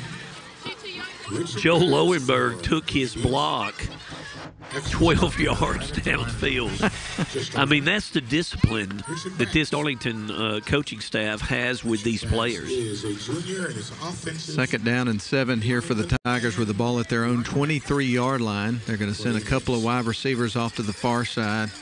Now they'll split a couple here to the near side. Shirey and Braden Bell are going to be on the near side, by the way. Now 10 seconds on the play clock here for the Tigers to work with. Good is getting ready to take the snap. And he is going to turn and going to put the ball in the air. Connects with Talon Shirey. A flag is going to come out. I believe there was a late hit on the quarterback there. There Rick. was definitely a late hit on the quarterback, and uh, it wasn't anything that uh, yardage on that play. uh, the player for the Indians should uh, have done or be proud of. It's going to be 15 yards and a first down, and uh, Jack got up slow, but you know he completed the pass and he made the the uh, screen right pass, but uh, you can't rough the quarterback that way. So now a penalty is going to bite the Chattooga Indians, and now the Tigers are going to have it at the 49 yard line with a fresh set of downs working from left to right, leading this one on the road 14 to 7. We're getting late here in our first half of the football game. Well, we've, we're getting the play set in. We have some personnel changes, but we have plenty of time 27, 26 on the play clock. So we're very deliberate. We know what we're doing on offense, and we're going to take this in. Jack Good takes the snap. Is going to swing it out to the left side to Demarion Floyd, trying to get their playmaker out in space, but the defense is able to string out the play and make the stop, and so he's going to be dropped for a loss. You know, credit where credit's due. Uh, the Chattooga Indians have a lot of pursuit, and they're playing to the echo of the whistle. Uh, they are. So that's going to be a loss of close to four yards. Uh, let's say three. So second down and 13 here for the Tigers for the Indians. as they get ready to take the snap from what looks like about the 47. There's the snap. Going to hand it off to Demarion Floyd. He goes up the middle this time. He has he got goes. a lot of green grass in front of him, and they're going to haul him in at about the 25 yard line on the opposite side of the field. So he comes back with a really big play. And right up the gut, right up the middle, right where Gamage and Powell and Hancock are. We're going fast. So a 30 plus yard play there for the Tigers and Demarion Floyd. As you mentioned, hurry up, first and 10. There's a snap. Bowden Owens gets the ball, and he is going to be pulled down by his jersey after a pickup of close to 10 yards. Depending where the spot is, he may have got another first down. I think he might be a little bit short. Nope, they're they're moving the chains. Moving the chains, first down. Uh, that was one of those uh, uh, suppressed sprints. He was held by his jersey, and he drug that guy along. Shotgun formation, trips to the near side, a turn and a handoff to Bowden Owens. He follows a good block, gets inside the 10, and that's going to set up second down here for the Tigers. Once in the red again, a pancake block by Gus Gamage. The guys on the interior line, I can't say enough about them. Uh, they're doing their job and they're least heralded on the field because of what we call the positions that are most noticeable that get to score the touchdowns. I don't like calling them the skill positions because how skillful is it every play to slam your head and shoulder pads in there to block for those other guys? Second and four from the 10 yard line here for the Darlington Tigers. They're going to send a couple of wide receivers to the near side. In the slot over here is Eli Thompson here for the Tigers. There's the snap. Going to give it off to Bowden Owens again, and he is going to be brought down. I might have taken a loss on that play of a yard or two. Yep, he did. Sets up third down. number eight, uh, Parker Huff made the stop. I believe for we've got an injured player. I think it's an Indian. Hopefully, it's only a cramp. Glad you're with us tonight on WLAQ AM 1410, 96.9 FM, or the live video stream from Darlington School. It's always a pleasure to get the opportunity to get out on Friday nights and be able to broadcast these games for you. And just want to thank my partner in crime here tonight. Rick Lundy for filling in for Ian Griffin. He's helped me out several times over the last couple of seasons. It's been great to reconnect with you and have the opportunity to talk football with you a few hours on Friday nights, a couple Good- times a year. Goodness, Matt, I feel the same way. You know, there's a lot of things that uh, someone could be doing in a fall on a Friday night, but selfishly, I would say there's nowhere else I'd rather be, and I appreciate the opportunity to be with you again. And I got to tell you, Rick, I hadn't had a jacket on um, at all this fall so far, and it may happen coming up at halftime. May happen tonight at halftime. That's right. But then again, I just may let the, the cool air That's hit me with my short Yeah. sleeves on and Yeah. just enjoy it. And in the midst of the embrace it. hunter's moon. Yeah. exactly. There we go. Number well, now he's Now, up. number 17, let- let's look. He, he's a put together gentleman. He is, Foster. he is We uh, wanna say thanks to Floyd Jamias Foster. certified a junior, and he's a tight end and defensive end, a big young man. And uh, he's walking off, thank goodness, predominantly on his own speed and strength. So, Now, his last name's Foster. I'm sure you probably remember Isaac and Isaiah Foster, who played here several years ago. We Yes. called him the two headed monster. Absolutely, absolutely, they they've got to be uh, uh, from the same community and the Foster family because he's a big guy and he looks like he's going to take a break. But uh, the Tigers are already out, lined up, ready to go. This is third and six. Ball at the 11 yard line in the red zone. Jack Good with Bowden Owens in the backfield with him. Man goes in motion. That's Joe Lowenberg. There's the snap. They're going to fake the handoff to Owens. Dropping back to throw is good. Ball in the air. Beautiful. Wide open receiver. He connects. And that's another Darlington touchdown in the end zone. Is going to be Bowden Owens with a touchdown catch. and Brent Bell went into his bag of misdirection. He had uh, going left to right as we're looking at the field splits. Uh, uh, twins right, and he had a delayed uh, route on the left side, and Jack Good carried it out to perfection. And excellent blocking by the line will give Good the time to carry it out. So Jack Good with a touchdown pass as we get ready for Ryland Scott to try to punch through the extra point and make this a 21 to 7 two score ball. Kick is on the way and it is through and it is 21 to 7 in favor of your Darlington Tigers. Well, somebody's hopping the fence and going in the woods for that Ryland Scott kick. It was a line shot, and it was gaining height as it passed through the uprights. So an 11 yard touchdown pass to Bowden Owens, and that is how the Darlington Tigers are going to get their third score of this football game. And we still have 3:48 left to go here in the first half. Well, it, it seems as the offense is on the field each series, we're getting more fine tuned and more fine tuned. And that last play was an excellent example of it. It was set up to uh, appear that we were going right to the Twins' right, and then someone gets loose and sneaks over into the left side corner of the end zone, and it's uh, Braden Owens for the touchdown. And I do want to take this opportunity while we have a moment to mention the camera crew tonight Thomas Patterson, Benton Potts, also graphics tonight from Uda Patterson, the gopher, Claire Patterson, of waters early. We appreciate that kind of treatment. We re- really do. And then, of course, the director tonight, Nathan Patterson, and of course, Northwest Georgia Media providing the video for Darlington School. They have done a tremendous job on that this year. Well, you know, uh, when Mr. Patterson was visiting with us earlier, you could just see the joy in his face when he successfully got everything IT together and made it all work, and it doesn't work without him. Line drive kick. It'll be fielded at the 10 and brought out. Corey Gibson's got it being chased around by a few Tigers, and it was kind of a little bit of adventure getting it up off the ground. Odd it- development to it. and it gave the Tigers a lot of time to get down and bring him down at about the 15. Yeah, Parker Huff was the uh, re- on the return for the Indians, and he seemed to have to run a good distance just to get to the what we used to call the wedge, or maybe the the blocking scheme that maybe the Indians. I don't think you can do a wedge anymore to go up into the kick team and. Uh, Hold on. and then the kick team can't do things to try to bust the wedge anymore. They've GHSA has outlawed those things, and rightly so. Four wide receiver set here for Chattooga as we get ready for Gross to take the snap. Corey Gibson goes in motion. We got a flag. It's going to be procedural and that'll be a five-yard penalty against the Chattooga Indians. That's been an Achilles heel for them. Uh, they've had what three or 4 Mm-hmm. and you start out now, uh, repeat first down, first and 15, and you're backed up to your own uh, nine and a half yard line. That is not where you want to be with the Darlington Tigers on the move. And I do want to mention. Significantly to this, we've got the speaker from the Yes, we uh, do. public address announcer very close to us, folks. The speaker from the hot plate. It is. Here for the Darling, or excuse me, for the Chattooga Indians.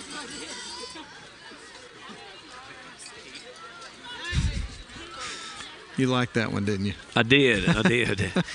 you didn't know I had it in me. There No, comes the pass from Gross, and that is going to be caught. What an amazing grab! He was able to leap up and haul it in, and he also had a couple of tigers. You could hear their Oh, footsteps. Talon Shirey is uh, is it Talon or who is it? No, it's it's uh, uh, number five for the uh, Darlington Tigers. Eli Thompson is still looking at his empty hands, wondering how did that pass get through. We had excellent coverage. Once again, Gross is throwing in small windows, and he's taking those.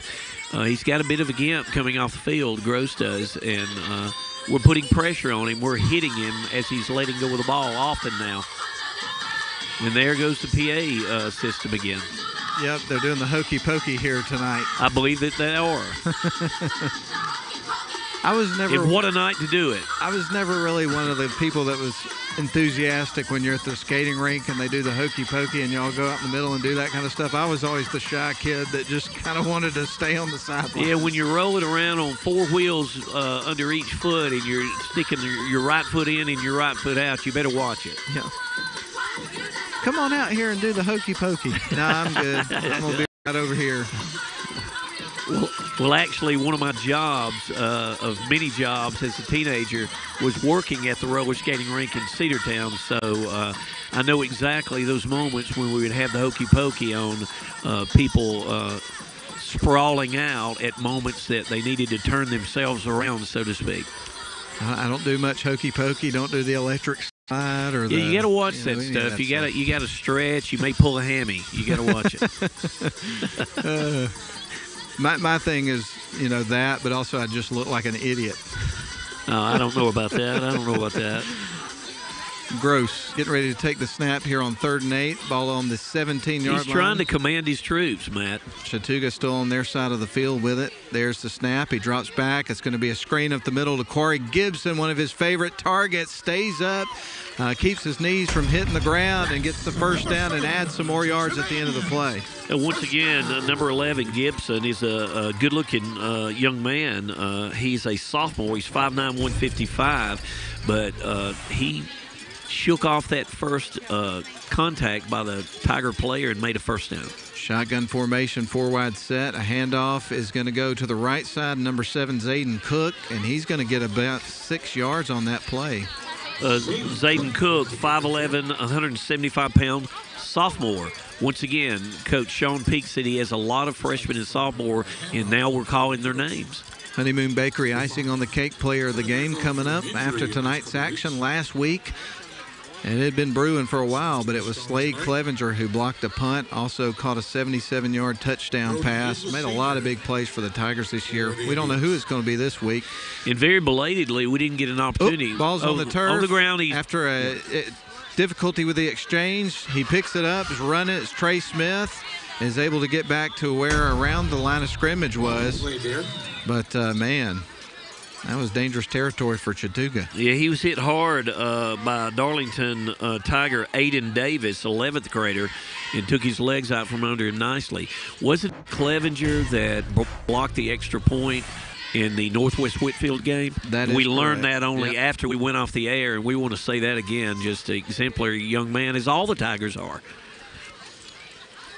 Very opportunistic and trying to make the most of every play Absolutely. at all times. And that's the thing. Like you said, five different Darlington Tigers scored last week. Who's going to make the big plays this week? Of course, here at Chattooga tonight, and then after tonight, only three more regular season games. Next week, it'll be back at Chris Hunter Stadium to host the Pepperell Dragons. That's one that everybody uh, looks forward to when that is on the list in terms of the schedule. You'll have Armuchee the following week, and that'll be at Armuchee. You'll have a bye week, and then uh, the regular season will wind down up. Well, actually, at Chris Hunter Stadium against Trion. Good, good thing to get Yeah. that game at the end of the year. And you know the Darlington, uh, the Purple Dragons hate losing to the Darlington Tigers almost as much as I love the Darlington Tigers beating the Dragons. Going to have a four wide set here for the Indians for third and 10 with the ball at the 31 yard line on their side of the field. 128 remains here in our first half of play. Corey Gibson motions to the right. There's the snap. Going to throw a screen up the middle. It was a quick pass that was out towards Zay. It's incomplete. and uh, he was open. He was there, and uh, Gross is getting the snap. And uh, I think if you look at even the, at the level of NFL players, Tom Brady tries to get rid of the ball in 2.7 seconds, and you look at Gross, and he's getting the ball, and he's not wanting our big interior line to get a hold of him. He's getting loose. He's he's releasing the ball. So the Tigers are going to get the ball back, it looks like. One more time, potentially here in our first half, leading at 21 to 7. So a little bit of time to work with, and where this punt's going to happen from could potentially have pretty good field position. And remember, we start the second half with the ball. Exactly. Talon Shirey standing at the 43 yard line, working from left to right to field the punt. To kick it away is going to be Hunter Brown, and we got a whistle before they snap the ball. And is that a delay of game? Going to back them up five yards. So now they'll be punting from the 26 yard line. More potential for good field position here for the the, Tigers. the punter's going to actually kick it from about his own 12. So uh, I, uh, this could be an excellent time for the Tigers to block this punt. Well, they are certainly going to give their best efforts. You know that, no doubt. So we get ready for Hunter Brown to punt the ball away, and the snap is on the way. Here comes the kick. Nearly got a hand on it. It is going to drop and roll close to midfield where it's going to be downed on Chattooga's side of the field, about the 47, I'm guessing. The Darlington Tigers are going to have excellent field position, and he seemed to almost abort the kick, and he just went ahead and kicked. And he didn't go through his full stride because of the pressure. Darlington special teams, any moment that they can make the field position flip and get an advantage, that's what Tommy Atha does with the team. So an opportunity here for the Tigers to perhaps add to their lead with 118 left to go in the first half. And it looks like the Tigers, according to the scoreboard, it looks like they've got another timeout left. Braden Bell's going to be split to the near side here for this first down play. Three wide receivers off to the far side of the formation, working left to right. Good's got the ball in his hands, drops back into a clean pocket, puts it in the air, and it's going to be a catch as he goes to the turf for Eli Thompson. A 12 yard pickup on first down. They'll move the chains quickly. Ball is going to be at the 35 yard line, and the Tigers come back to line of the line of scrimmage in a hurry. Absolutely. So going Jack Good had plenty of time to throw that. He threw a dart to Thompson. Four wide set, first and 10 from the 35 on Chattooga's side of the field. A motion man goes. Here's the snap. Good. Looking for somebody to throw it to. And that, I believe, It's is a going to be. catch. oh, It was. To Mark Eli. Thompson caught it as it was going He had his towards the arms ground. under it. It's a catch. That ball looked to see. Oh, Nope. the I goodness thought it me. hit the ground and kind of bounced up, but The person that's calling it good, it's incomplete. It said no good. No good. No good on that play. The secondary official came in to the one beside Thompson that called it good and said it wasn't good after all. So we'll go again, second and 10.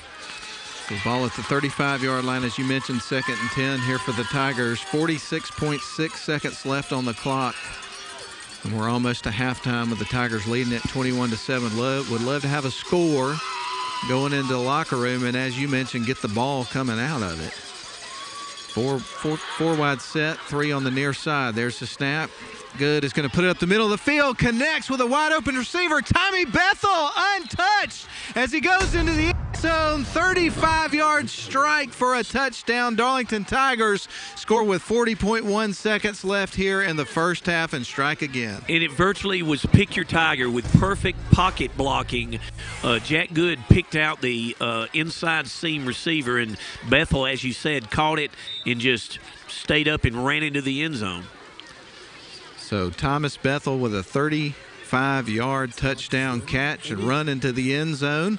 We get ready for the extra point, and that certainly changes things to get that score right here at the end of the half. And as you mentioned, getting the ball to start the second half. And here comes Rylan Scott on for the extra point. And that one, as you would probably guess if you're just listening at home and don't have the video, it was through. It was through, and it's landing on the track in the air. Good with 40 seconds, 40.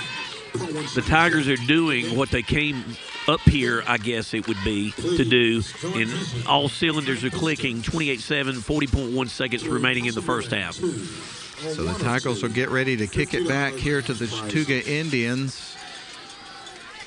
And we are glad you are with us tonight. We're glad to be here tonight because it is football weather. It's a beautiful Friday night. We've got the Hunter's Moon above us. Some, somewhat egg shaped, not quite full, would you say? Not quite full. Yeah. But a beautiful night in Chattooga County. Uh, wonderful crowd, wonderful uh, conduct of everyone. It's just, you know, just like you want a football Friday to be in Northwest Georgia. And I ha- and you mentioned this earlier, and it's been the experience every time I've been up here to call a football game or a basketball game. Been up here a bunch over the years, uh, but the administration and the athletic department and just the people here, they're always so kind to us and hospitable, and it it gives us a lot of great hospitality, and that makes a big difference. Oh, it's all the difference in the world, and I think you know uh, the Darlington Tigers come up here and behave the same way, so it's a contest the way it should be. End over end kick that's going to drop in at the 26 yard line, unreturnable there for the Chattooga Indians. They'll get a fair catch right around the 26. By quarterback Brady Gross. Well, the Tig- I think the Tigers know uh, that. How many timeouts do we have left? Uh, One, I believe. you know, uh, based upon what uh, the Indians decide to do, uh, if they decide to throw the ball, a couple of incompletions, pop a timeout, you know, anything could happen in 40 seconds. You know how the Tigers are. So the ball at the 25 yard line for Chattooga as they get ready to open up this drive. We'll have scores that will reel in for you for halftime in just a little bit. Going to have four wide set here in the waning seconds here of our first half. Gross is going to hand it off to Zayden Perry. They chase him around the backfield and bring him down for a loss. Every interior lineman for the Tigers was on the play. Gatlin Hancock was in there. Gus Gamage, Powell, others, Logan Floyd was a part of that. Logan Floyd. And it looks like uh, both teams are going to be satisfied for it to run its way out. 13, 12, 11, 10. It's going to, I think that's going to be it. You are right. So that's going to be the end of our first half. Darlington's going to lead it going into the locker room. 28 to 7 is your score at halftime. Again, we're glad you're with us tonight on WLAQ and the live Darlington School video stream. We are going to go ahead and take a four minute break. When we come back, we'll give you some scores from around the area. We'll talk about this game. We may touch on some college matchups that are coming up that you're excited about tomorrow, Rick. I know you're looking forward to watching some games tomorrow. Absolutely. And so we'll do a bunch of stuff coming up with our halftime show. But again, you're listening to Darlington football on WLAQ and watch or watching the live video stream. Darlington up 28 to 7 at halftime. We'll be back in four minutes. And right here in our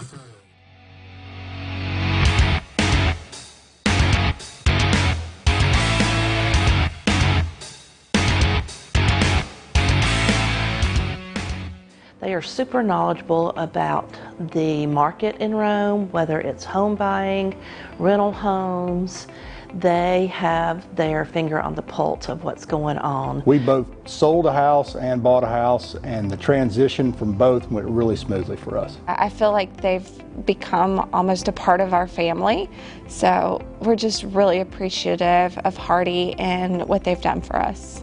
all their team uh, put together from maintenance to management to sales Uh, I can't really say enough about them. I'd highly recommend them to anybody coming to town or living in Rome looking for uh, investment properties or homes to buy. I'd like to wish the Darlington football team a great season. Go Tigers! Go Tigers! Shop for your next car, truck, or SUV at Riverside Auto Group. Check out riversideautogroup.com today to browse their selection or visit with them in person at Riverside Chevrolet Buick GMC in Rome, Riverside Toyota in Rome, and the all new Riverside Buick GMC Cadillac in Cartersville. Locally owned and operated by the Welburn family since 1974. That's Riverside Auto Group. Visit riversideautogroup.com. My name is Ryan Somerville. I am the sales manager for Business Water Solutions. We do water purification coolers as well as ice machines for any size business. We're on campus right now at Darlington School. Super happy to be here. They're one of our biggest customers. I myself played sports here. Our two founders played sports here. It was absolutely our pleasure to be a sponsor for Darlington Athletics. I think one thing that really sets us apart is our water purification. There's 13 stages. The reverse osmosis part of it has been a huge part of our success, along with our 24-hour guarantee for service calls. So when a customer does call us, we're then guaranteed within 24 hours. We were able to provide a touchless water system to make it more COVID friendly in terms of germs and, and touching the, the water system. One thing I always say is we're not selling a product, we're selling our service. That's what we really push for every single day is to have a customer service experience like they've never had before. At Darlington, we find our confidence in discovering who we are. In the classroom and on stage. The opportunities are endless. Our creativity knows no bounds as we take risks, explore opportunities, and stretch our minds. Together with our teachers, we use what we've learned to create beauty, to tell stories, to inspire. We discover new passions while allowing existing ones to flourish. We know that we can do anything, be anything, achieve anything. We give our time to something greater than ourselves. Whether we're sketching, singing, writing, or acting, we find new ways to express ourselves and share our talents with the world. We know that our ideas and contributions matter. And we take great pride in that. Because today. Because today. Because today. Because today. Because today, tomorrow, forever. We're Darlington Tigers.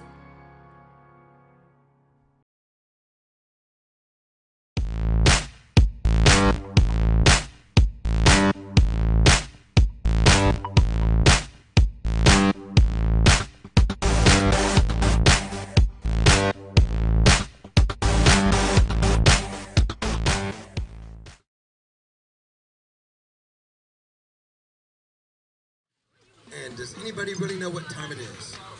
The band is under the field direction of drum major Mr. Cameron Carter. We welcome you back into the Little Big Horn. That's their stadium here at Chattooga County High School. Buddy Wendell Field, Matt Davis, and with me tonight, Rick Lundy. 28 to 7 Darlington Tigers lead it here at halftime Rick and I was looking back at my scoring summary here and in the pregame we were talking about how last week against Coosa you would have five Darlington Tigers score touchdowns in the first half today it's four you had Joe Lowenberg who scored the first touchdown to put the Tigers up 7 zero. The second touchdown of the night for the Tigers was Demarion Floyd on a two-yard run. Then you would have a pass to Bowden Owens for a touchdown and a pass to Tommy Bethel for a touchdown. So four Tigers into the end zone here today for uh, uh, for the Darlington Tigers in this first half. That's pretty unbelievable. And that's what it's like. That's what the Darlington Tigers do. They have so many facets of the game that they can strike on. It's impossible, no disrespect meant for the Indians, to key on one or two players for the Tigers. And it looks like the Chattooga Indians marching band is going to play some selections from the band Chicago tonight. I, I like Chicago. They got a few songs I really, really dig. Seen them in concert several times. Uh, excellent, excellent uh, music from Chicago.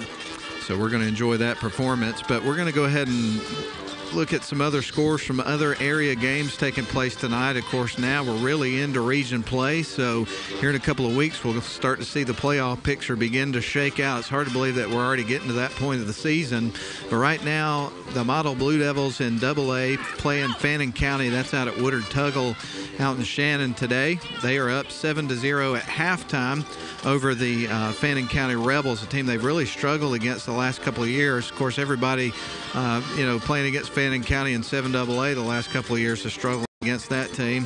Rockmart over Haralson County really having their way 35 to 0 at half of that football game. Armuchee struggling against Pepperell. That game is a 21 to 0 game at halftime with the Dragons in the lead. Of course, the Darlington Tigers will host the Pepperell Dragons coming up next week.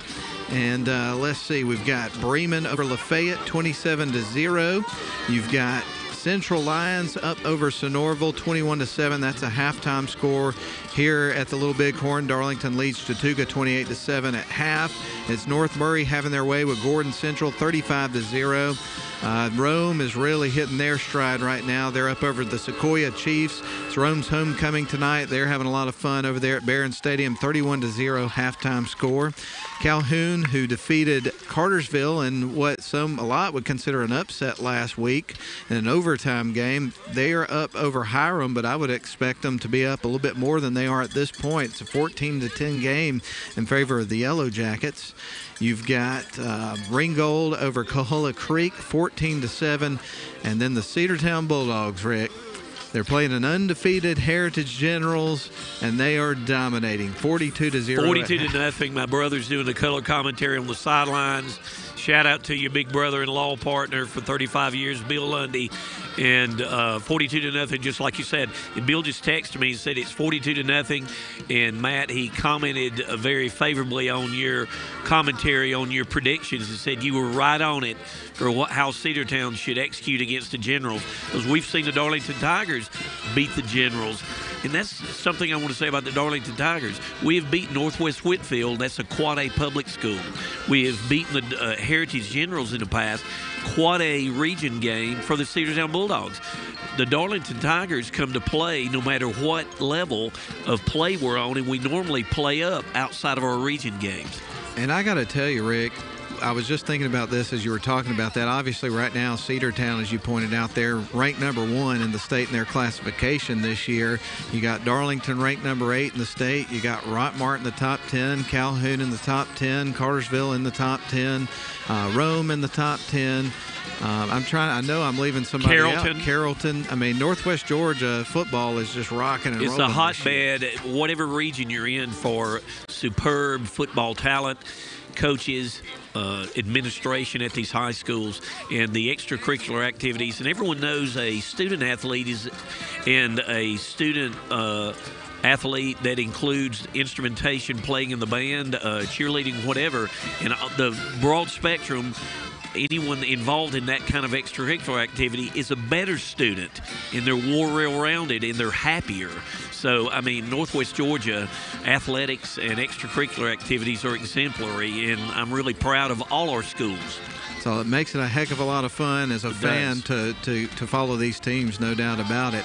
Well, speaking of having fun, we're enjoying this presentation from the Chattooga Indians Marching Band here at halftime, doing selections from the band Chicago.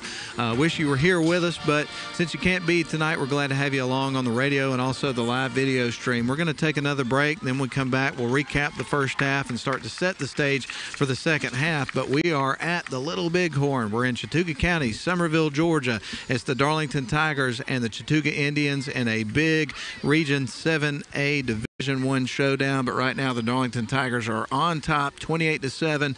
We're going to send it back to the studio for a break. We're glad you're with us. We'll be back in four minutes.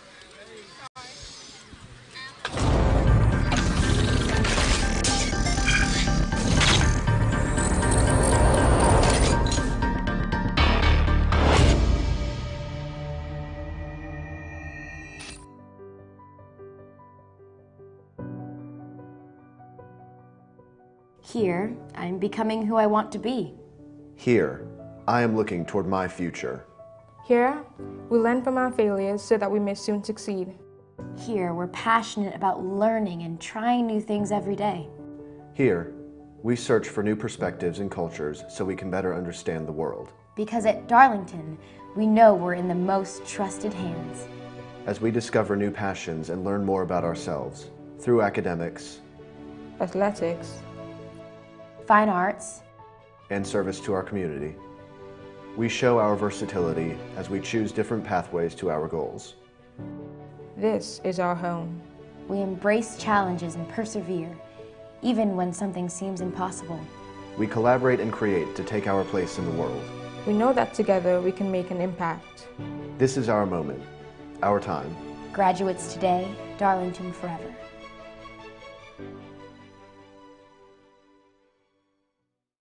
They are super knowledgeable about the market in Rome, whether it's home buying, rental homes.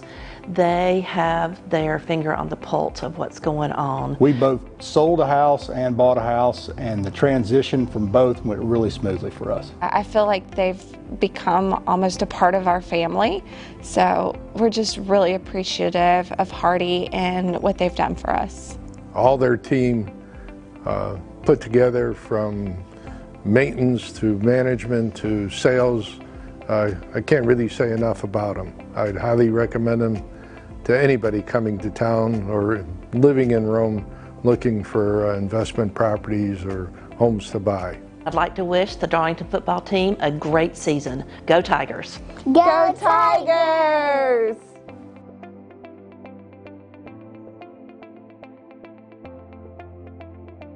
Shop for your next car, truck, or SUV at Riverside Auto Group. Check out riversideautogroup.com today to browse their selection or visit with them in person at Riverside Chevrolet Buick GMC in Rome, Riverside Toyota in Rome, and the all new Riverside Buick GMC Cadillac in Cartersville. Locally owned and operated by the Welburn family since 1974. That's Riverside Auto Group. Visit riversideautogroup.com. My name is Ryan Somerville. I am the sales manager for Business Water Solutions. We do water purification coolers as well as ice machines for any size business. We're on campus right now at Darlington School. Super happy to be here. They're one of our biggest customers. I myself played sports here. Our two founders played sports here. It was absolutely our pleasure to be a sponsor for Darlington Athletics. I think one thing that really sets us apart is our water purification. There's 13 stages. The reverse osmosis part of it has been a huge part of our success, along with our 24-hour guarantee for service calls. So when a customer does call us, we're then guaranteed within 24 hours. We were able to provide a touchless water system to make it more COVID friendly in terms of germs and, and touching the, the water system. One thing I always say is we're not selling a product, we're selling our service. That's what we really push for every single day is to have a customer service experience like they've never had before.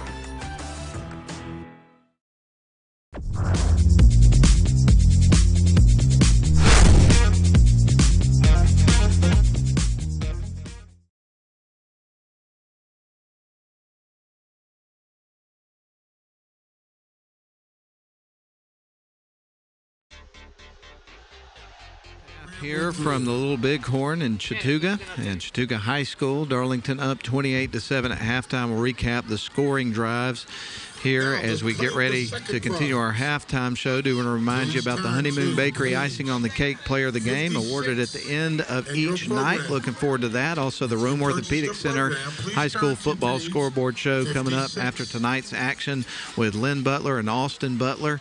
And I know that Austin was a little bit under the weather last week, so I hope he's feeling much better, getting ready to crank up some scores for you in a little bit with his father Lynn. They do a great job of that show, and we appreciate them uh, continuing the tradition of having that show on WLAQ. Now, as far as the scoring went there in the first half, the Chattooga Indians would start out with the ball after Darlington won the toss, deferred to the second half. They would go three and out in their first drive on the first drive of the game for the Darlington Tigers that started out at the 48-yard line of the Indians. It would end with a touchdown run from Joe Lowenberg to go up seven to zero with eight 8.18 left to go in the first quarter. Then on the ensuing drive, Chattooga put together a nice drive. Zayden Perry would cap it off with a 15 yard run to tie the ball game up at seven apiece with just under six minutes to play in the first quarter. Darlington would go three and out. Chattooga would go three and out. Then on Darlington's third drive of the football game, they would score on a two yard run from Demarion Floyd to go up 14 to 7. That was with 9.45 remaining in the second quarter. Chattooga had the ball, an interception by Jack Good with 7.34 left to go in the half would set the Darlington Tigers up for a pass play to Bowden Owens shortly thereafter, and they would score to go up 21 to 7 with 3.48 remaining in the half. Chattooga would punt on the ensuing drive, and then on Darlington's last drive of the first half, which started with 125 left to go in the half from the Chattooga 47 yard line, it was a 35 yard pass play to Tommy Bethel with 40.1 seconds left to go in the half that put Darlington up Darlington up 28 to 7 and that was pretty much it for the first half Rick. Good half for the Darlington Tigers kind of slow developing in the beginning kind of going back and forth there at the beginning of the game but then you really started to see the Darlington Tigers late in that first half take control of the half. It's like we made adjustments each time that we would uh, get the ball back and we started putting things together, tightening the seams. And that last drive when Jack Good threw the touchdown pass to Bethel, Jack, Jack was in the backfield alone going through his progressions for his receivers. And he could have picked the open receiver on that play. I don't Brent Bell dialed up an excellent play for seam route running and he hit Bethel for a score. Well, Rick, we've got about three minutes and 45 seconds left of the halftime period. Then we'll have the three minute mandatory warm up period before we actually resume with football in the second half. So, uh, what college games are you looking most forward to checking out tomorrow? Well, I think uh, Tennessee and LSU is going to be a good one, and I agree with you that uh, in our drive up that. Uh, Tennessee better be ready for LSU because I think LSU is ready to uh, beat uh, the Vols if the Vols aren't playing their best contest. And if they do, Rick, there's no doubt that Brian Kelly and his family are going to be very proud of that uh, victory. Transferring uh, the head coach from Notre Dame to LSU, there's no doubt about that. You also have interest in, I guess, the southwestern United States. Texas Christian as a 17th rank.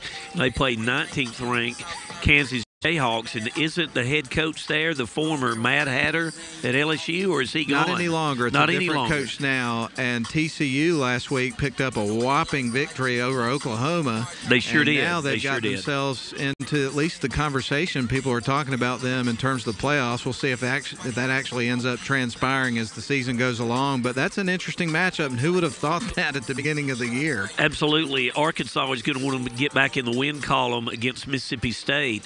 And Mississippi State, while 23 ranked, uh, their coach uh, is is an excellent aerial offensive mind, and he'll just throw the ball every down. You know, and it's funny. I haven't had a chance to check this out, but evidently on a, in a press conference or a television interview or something like that, the headline was this, and I was getting ready to drive up here when I saw it, but it said Mike Leach makes comments, and they're even strange for him. And I'm like, oh, I've got to see this. yeah, exactly. If it's strange for him, and that's what they're saying, I can only imagine what kind of outlandish thing he said.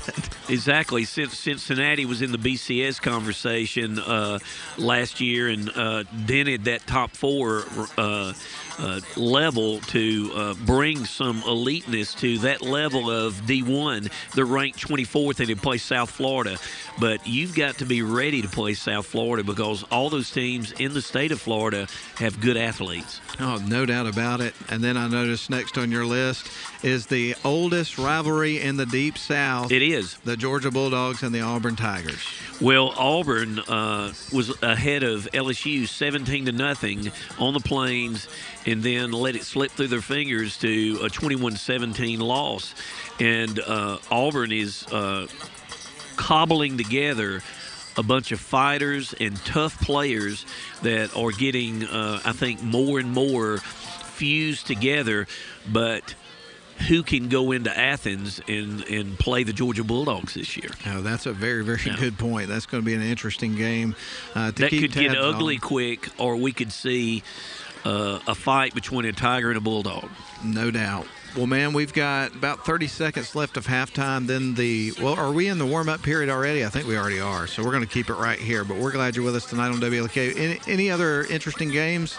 Yeah, actually, uh, uh, Texas A&M and uh, the University of Alabama Crimson Tide are the eight o'clock marquee game, and I don't think from the off-season comments about the NIL and uh, acquiring athletes, we'll put it in a nice way, uh, that both coaches fired at each other that there's going to be any love lost uh, at Tuscaloosa. And I think the honeymoon for Jimbo over there at Texas A&M is over It before is. it hardly got an opportunity to begin because It- I hear yeah. rumblings they're figuring out how they can get rid of him already. Yeah, well, uh, you know, uh, the uh, the previous coach had recruited well and was building that program well. So one could say where uh, Harson doesn't have his recruited players yet on his roster, that maybe. Uh, uh, Jimbo won with the previous head coach's recruited talent, and now he's getting enough years in there that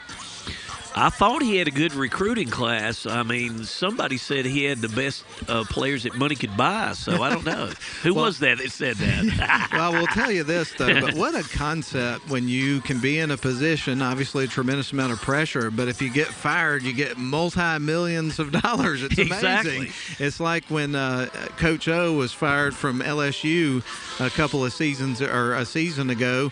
Uh, he made the comments in an interview not too long ago that he basically just said, "Okay, uh, what time do you want me to leave, and which door do you want me to leave out of?" You know, it's Exactly. like, thanks. and uh, when are you going to write the checks? Is it Coach Collins that recently is uh, uh, exited at Georgia Tech? Yeah, and, Uh, the athletic that buyout, I think, is between eight and eleven million. Amazing. It's going to be interesting to follow who they end up going with. I know the big talk for Georgia Tech folks is hoping that they get Coach Prime, Deion Sanders, to come to the flats. Um, and that would be great, but there have to be some other things that fall into place with a hire like that for him to be successful. And one of them is going to be taking advantage of the name, image, and likeness situation that you were referring to Yes. earlier, and maybe you know, whenever you talk about Georgia Tech and recruiting and things of that nature, the academic standards always, you know, so that plays a factor as well. So I'm not sure if he is the best fit for Georgia Tech. Although as a Georgia Tech fan, I'd love to see him give it a shot. I know we have an offensive and defensive lineman that's all state for the second year in a row that is a 4.0 and wants to be an engineer, Gus Gamage. Whoever's listening that has in- influence at Georgia Tech, they're crazy not to sign him, aren't they, Matt? I agree, and I'd love to see him playing down there at Bobby Absolutely. Dodd Stadium in Grant Field. We'll But- all get season tickets. No, indeed. Well, we've got about a minute left until we begin our second half. Just to kind of recap, again, the Darlington Tigers up 28 to seven. They would win the toss before the game, deferred to the second half. So with a 28 to seven lead, they are going to get the football to start this second half, and that really could, if the Tigers can come out and put together a drive to start this second half, it could really set the tone for how the rest of this game goes. No doubt about it. If they begin the second half the way they ended the first and go up 35 7, you're going to see uh, even more regular passing and stretching the ball downfield by uh, the senior quarterback for the Chattooga Indians. And, you know, he wasn't even on the players to watch list in the pregame scout. He had been hurt. So we really didn't. We're really seeing him for the first time from maybe any lack of prior film to see him play. Demarion Floyd and Talon Shirey in the backfield to try to return this kick here from the Chattooga Indians as it is teed up for Hunter Brown, the place kicker here for the Chattooga Indians.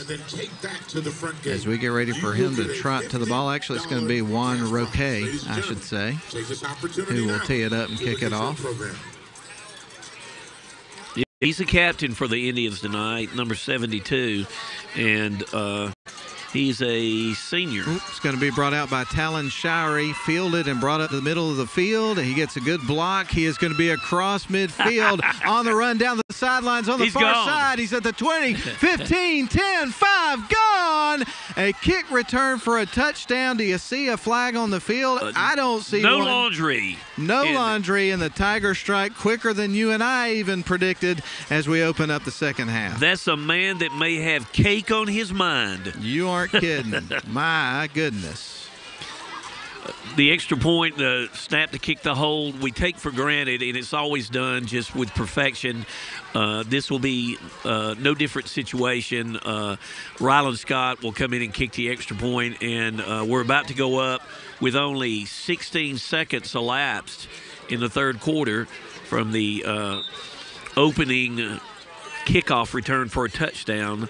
And I was trying to pick up where he fielded that, but we mentioned to you at the beginning of the game we're kind of at an angle, and I couldn't tell where he was. So if anybody's watching the video and they could pick up where he fielded that, let us know. The kick is on the way, and it is through the uprights, and it's 35 to seven, just like that. it didn't seem to be any shallower you could say i guess than the 35 it could have been between the 28 and the 30 32 yard line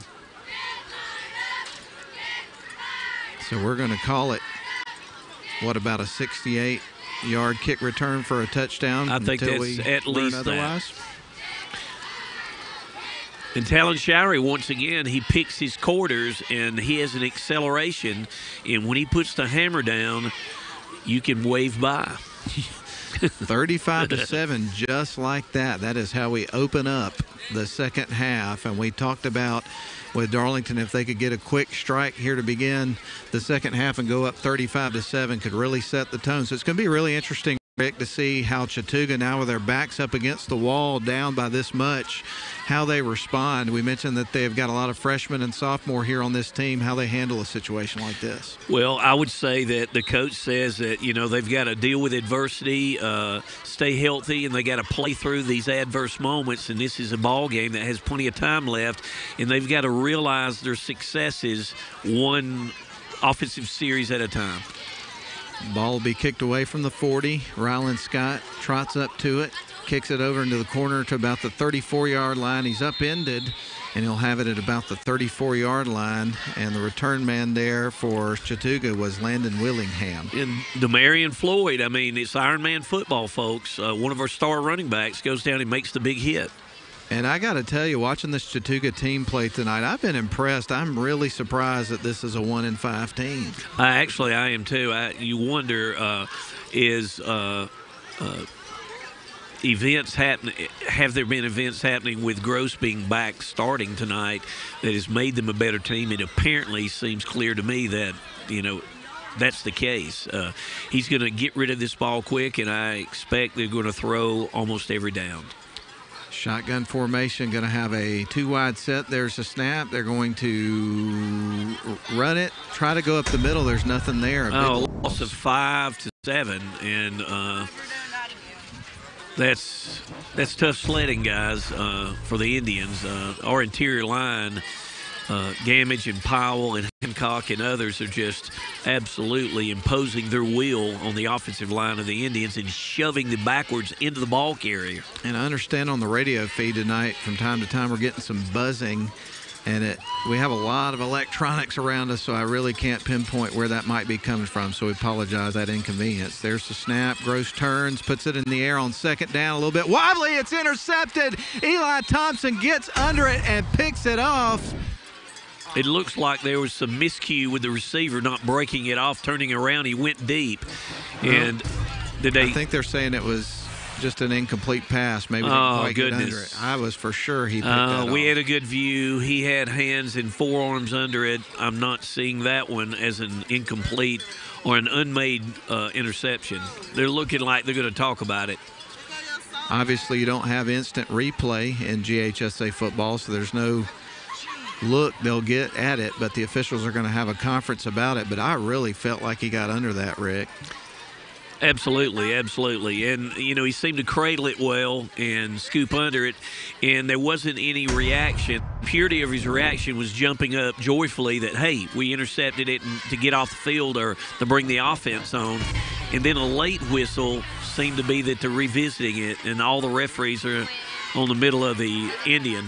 It's a catch. Yep, it's an interception. I was sure of it. Yeah, yeah. And they have. Well, good for their deliberation. Interception. Yeah. So the second interception of the night for the Tigers. First one was from Jack Good, and second one from Eli Thompson. So things are going completely in Darlington's favor in this football game to start the second half. Darlington has an opportunity now to run their first set of offensive downs to uh, half the field and to take it down in. uh, probably take the hearts out of the Indians in the game. But uh, you know that I wouldn't be surprised if the Chattooga Indians kept fighting. But we'll go up 42-7 if we score here. First and ten from the 48. Ball comes Oh, out. It is picked up by we don't need to Settlemeyer. He's running down to the 30. He's got it inside the 20. Stays up, cuts back inside. He's going to be inside the 10 after picking up the fumble from the Tigers. So they turn it over on the very next play. Yeah, uh, the uh, Chattooga Indians blew up the uh, right-sided uh, wide running play and just disturbed everything and stripped the ball. They stripped the ball. So a little bit of Number daylight. one, Billy Settlemeyer made the made the scoop up and run. So 10:45 left to go here in the third quarter as Chattooga gets ready to line up with first and goal from the Darlington nine. That is a big turn of events. Exactly what we didn't need to do, and I did not expect to happen. Yeah, the Darlington Tigers do not turn the football Never over do. very often. Well, it's up to the defense to keep this uh, only a seven-point score, a single score for the Indians. Gross has got Zayden Cook in the backfield with him. Going to send two wide on each side of the formation here for first and goal from the nine. Gross ready to take the snap. Darlington Tigers defense in pursuit. Ball in the air, batted down. Getting a hand up and knocking it down for the Tigers was going to be number three, Highland Thomas, making a big play there.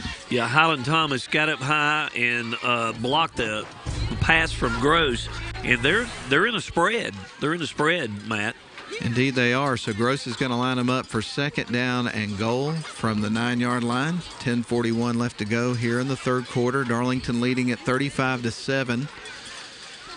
Chattooga getting ready to snap the ball. A man goes in motion. That's Corey Gibson. We got a flag coming in. I think this is going to be on the offense. Another procedural penalty, a false start. Uh, they've had a few in the game, and that one stings. It does. It does. Uh, it's just unforced errors. Darlington's had virtually none, and is that maybe six uh, false starts uh, in the game thus far against the Indians? Zayden Cook in the backfield with Brady Gross, the quarterback. It's going to be second down and goal now from the 14 after the five yard penalty on the procedural penalty. So Gross is ready to take the snap. Ball in his hands. He'll drop back, put it in the air, and that's going to be incomplete. We had excellent uh, pressure on uh, the senior quarterback and excellent coverage. Uh, I, once again, though, like you said a few minutes ago, uh, Matt, I can't believe this team had 54 points scored on it by Armuchee. It is a shocker to me because this is, like I say, a pretty talented looking football team. They've got some decent size up front. They've got good skill players, some speed, good quarterback. Uh, but again, a young team, a lot of freshmen and sophomore, you know, playing on this football team tonight. They do have a senior quarterback, and it shows. Um, he's a good, really good player. But in a couple years, this team really could put something together. Here's this Waiting on the snap to Gross. He drops back. He's going to put it in the air. Connects with Corey Gibson. He is greeted unkindly by Eli Thompson. Ball comes out, and the Darlington Tigers have recovered. They've Absolutely. got the ball back. Uh, and, uh, stripped by uh, Eli Thompson and recovered. Who who got the recovery? Uh, McKay Rush came out with the ball, I believe. Okay, all right. Thompson made contact, held him up, and stripped the uh, ball from uh, the receiver, and Rush made the play. And that's the thing. Uh, Darlington Tigers keep pursuing to the echo of the whistle. So the Tigers get the ball back. This has been a wild It third quarter, has. hasn't it? It has. We've had a kickoff return for a touchdown. We've had a fumble that was nearly returned for a touchdown, and now we have another fumble going back the other way for the Tigers. So the Tigers are going to start at their own 29-yard line, first and 10, leading at 35 to seven. Going to send three wide receivers to the near side, one on the far side, working from left to right. As Good gets ready to take the snap, he's got it in his hands. He's going to turn, hand it off. A little bit of a seam there for Bowden Owens. He'll dive through it and get about four or five yards. It looked like he was wanting more there. Yeah, yeah, he's punching the air a little bit. He's going to go back and say, "Give it to me again." But that's, that's what you want out of your running backs. They want opportunities to run, and behind this excellent line of scrimmage blocking, who wouldn't? Indeed. So that brings up second down and six here for the Tigers. Ball on the 32 yard line, 33. Demarion Floyd in the backfield with Jack Good for this package. Going to send two wide to the far side, one on the near. And here's Good going to turn, hand it off to Floyd, runs it off to the left. He's gone. off to the races. He's across midfield. He 40, is. the 30, Look at 25. Can they catch him? No, sir. They 10 5 gone. Darlington. Tigers score again, and this time it's a 68 yard run to pay dirt for Demarion Floyd. And you wondered which which of the many Indians chasing him was going to get him, but he just he hits that gear that we know he has, and he's gone. D Man Floyd with a big play, and the Tigers strike again here in the third quarter, 41 to 7. They'll try to tack on the extra with Ryland Scott here in just a couple of moments. I mean, there were five Indians running uh uh beside him and just behind him and along with him, and they couldn't touch him. My goodness. My goodness. Dude's electric. Here comes the snap, the hole from Kunczewski. Kick is going to be blocked. And the score remains 41 to 7. So 41 to 7. Uh, the law of averages alone will get Ryland Scott because he's perfecto. He was 5 for 5 last week in a 22 yard field goal. In addition to that, eight points accounted for by our kicker. So uh, Ryland Scott will come out or one of the other Tigers and kick it off to uh, the Indians. And we have a 41 to 7 lead with 9.33 remaining in the third. When do they determine to run have a running clock? Say that again. I'm when do sorry, I they just determine to have a running clock? Uh, 30 points, I believe. Okay. And when the fourth quarter, I think it's decided by the officials, but when you're in the third quarter, obviously, I think the coaches have Yeah. to agree to it, unless I'm badly mistaken. Well, absent other scores by the Indians, I would think we may have a running clock at least in the fourth quarter. I just got a text message from Scotty Hancock, dad, of course, of uh, Gatlin Hancock, and he pointed something out that I definitely would agree with. He says the O line deserves a cake. Look how many people we have scoring, and Jack has all day Yeah. to throw the ball. No, he's exactly point. right. Jack is alone back there going through his progression of receivers to pick who he's going to throw it to. The offensive line may need uh, five forks.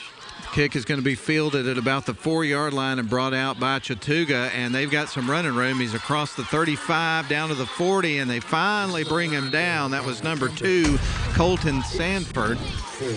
And number 22, Tommy Bethel puts the big hit on Sanford after a, a very good, solid return out to about the 40 yard line.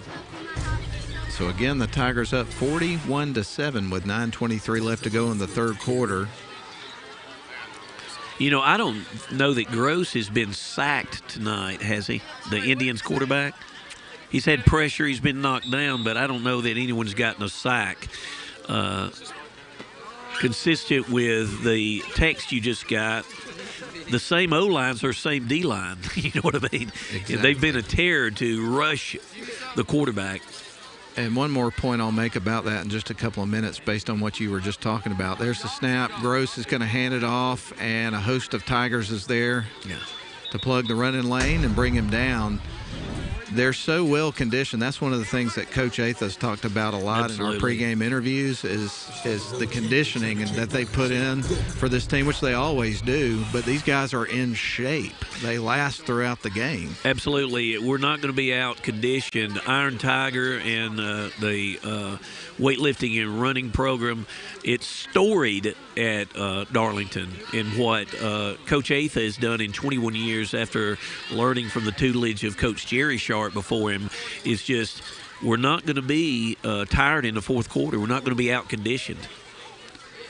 So Gross gets ready to take the snap on second and nine. He'll turn and hand it off, and getting in there is, I believe, Jack Cowan got him wrapped up initially. He did. He wrapped him up, spun him around, and it seems like we also had number 67 for the Tigers in on the stop, Connor Ellison.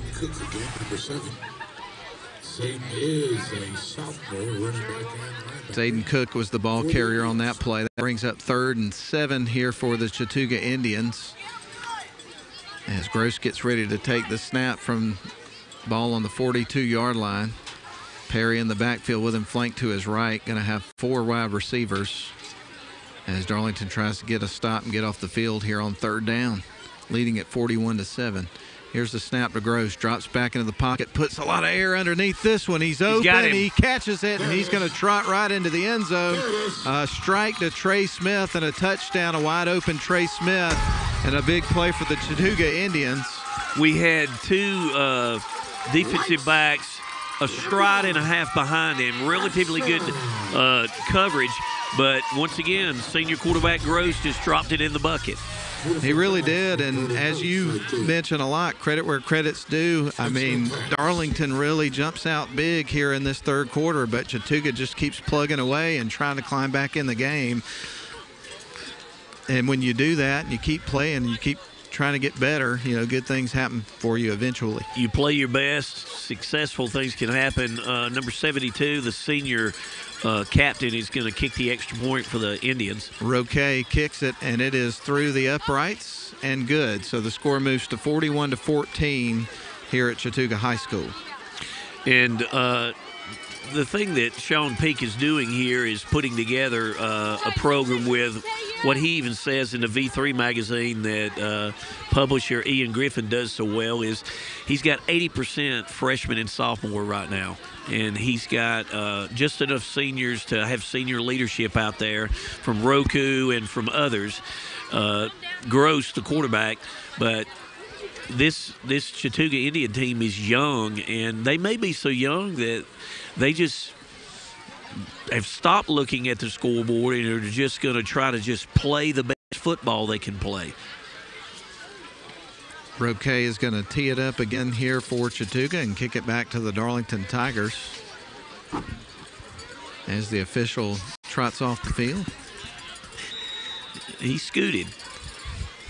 Okay, uh, Roku's is he doing the kicking chores? I think he is. Yeah, Roque. He kicks Okay. it. It's going to be end over end. Roku is what you watch your ESPN Plus app with.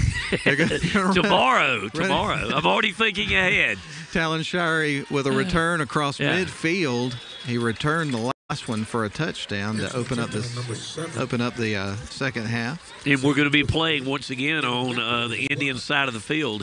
Uh, the uh, field position, we've won that uh, that battle uh, the entire game. You're just thinking about that Roku. You're like, now how do I work that Roku I am again? well. I, as long as it gets worked, I don't. Doesn't matter to me who gets the credit as long as they get to watch it. I love it. So Darlington will get the ball at the Chattooga 45 yard line. So good field position. They'll line up with first and 10, 732 left to go here in the third Do we have a new quarterback, or is it still Jack? I can't see the number. Still Jack. Jack's going to is. drop back, looking to throw, puts it in the air. There it is. Open, Braden Beautiful. Bell. Stretches those arms, Braden hauls it in. Touchdown, Darlington Tigers. 45 yard strike right in the breadbasket to Braden Bell. What a beautiful throw from Jack Good and a great catch from Braden Bell to finish up the play. Isn't it great when it happens exactly the way it was designed?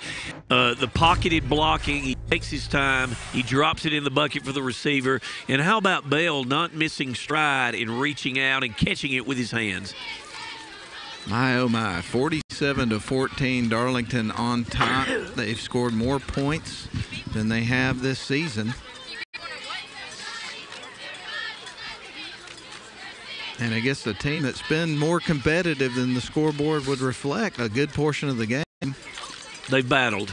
There's the, the Indians kick. have. It is through the uprights this time, and that is going to move the score to 48 to 14. And you were talking about this earlier. Uh, the previous extra point was blocked on the previous score from Darlington, and Ryland just moves on to the next one. And that's what you got to do if you're a kicker, and uh, you just knew that was going to be right down the middle. It, you have amnesia to the previous kick, and you go out, and it was high, arched, and right down the middle. As Coach Atha calls him, a true technician. Absolutely. I you know, the little things stay small because he's always as a technician paying close attention to them. And I've been saying uh, when I had the privilege of announcing some games with you last year, Matt, uh, Ryland Scott can kick on Saturdays somewhere. I'm in 100% agreement with you on that, Rick. So the Tigers will kick it back here to the Chattooga Indians. And this is turning into a pretty long third quarter. We were rocking and rolling in that first half, but there have been a lot of scoring and. Well, you have effortful play and uh, never say die and don't give up coming from the Chattooga Indians. And rightly uh, so, the uh, Darlington Tigers are rising to the situa- situation and conquering all facets of the game over the Indians, but the Indians are not giving up. Tommy Bethel to kick it away, and this one's going to be sailing right into the back of the end zone. Man, put some good leg on that one. That'll be a touchback.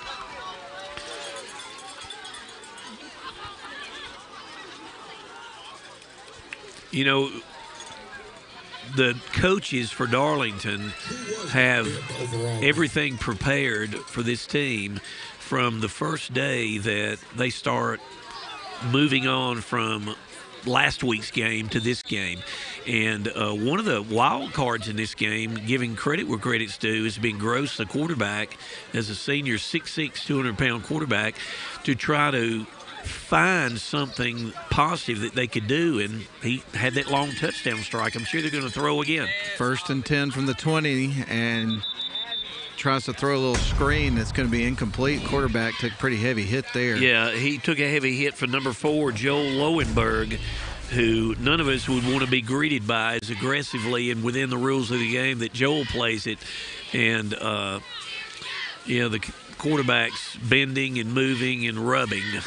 He's he was hit pretty hard. And I'm over here pondering, you know, Scotty, I think he had a great suggestion. So uh, maybe WLAQ can go in with Honeymoon Bakery for this award tonight.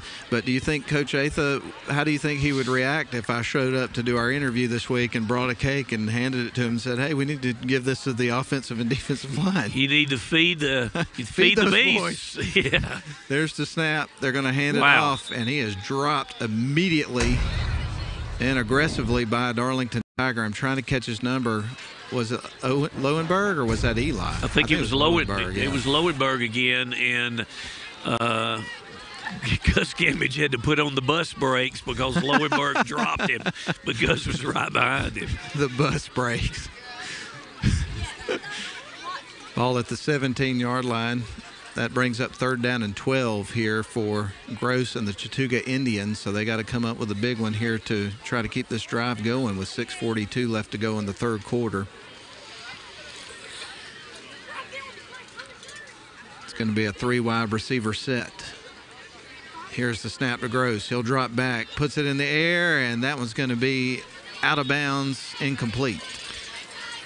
Uh, it may be because he's just back from injury. I think you had indicated, Matt. It seems like some of the receivers on their uh, area routes aren't breaking off where he wants them, and the ball's landing in a place that he had, he threw it to, but the receiver is not breaking off his route, running his route to that area. But we've had good coverage and a lot of pressure on him the whole time. So we get ready for Hunter Brown to punt the ball away for Chattooga after a three and out. One man back here for the Tigers. Going to be standing at the 45 yard line on Chattooga's side of the field to try to return this kick. And the kick is off and away. It's going to be a pretty high kick, drops in, and it'll be fielded at about midfield by Talon Shirey. And that's one of the most unheralded uh, efforts by a football player at any level uh, is the fair catch. He kept it from rolling probably another 20 yards, and now we have just half the field to go right on the uh, Chattooga Indian. Big C in the middle with the uh, Indian feather coming off of it. And we're going left to right as we're looking at the field, and we still have uh, predominantly, it looks like, all our starters in the game. And Sammy Kunczewski is in at quarterback now. We do have. Okay, there is a change. Okay. The sophomore does a great job. Get some playing time here in this game. Played some in the game against Coosa last week. There's a snap. They're going to hand it off, go off to the left side, and that's going to be a loss there on that first down wow. play. My goodness. A couple Uh, of linemen for Darlington were about 20 yards down yeah, the field. Uh, Gus Gamage took a guy literally 22 yards downfield. As well as Trey, Truett Yeah. Hayworth, big man Truett Hayworth. Truett Hayworth was with him. and uh, Truett, it'll all be yours next year. You're a junior. Timmy Smith was the ball carrier on that last play. Second and 11 after a one yard loss. Here's the snap. Kunczewski's going to hand it off. They're going to run it off to the left side.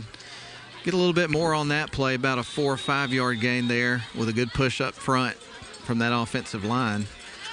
Setting up a third down and long here for the Tigers. Well, it looks like we're seeing from both teams uh, uh, a uh, exchange of uh, uh, reserve players, maybe even one would call JV players or uh, second team players to the starters, and that's good and healthy to see. It's 48 to 14, five minutes 14 seconds left in the third quarter, and that's the way it should be.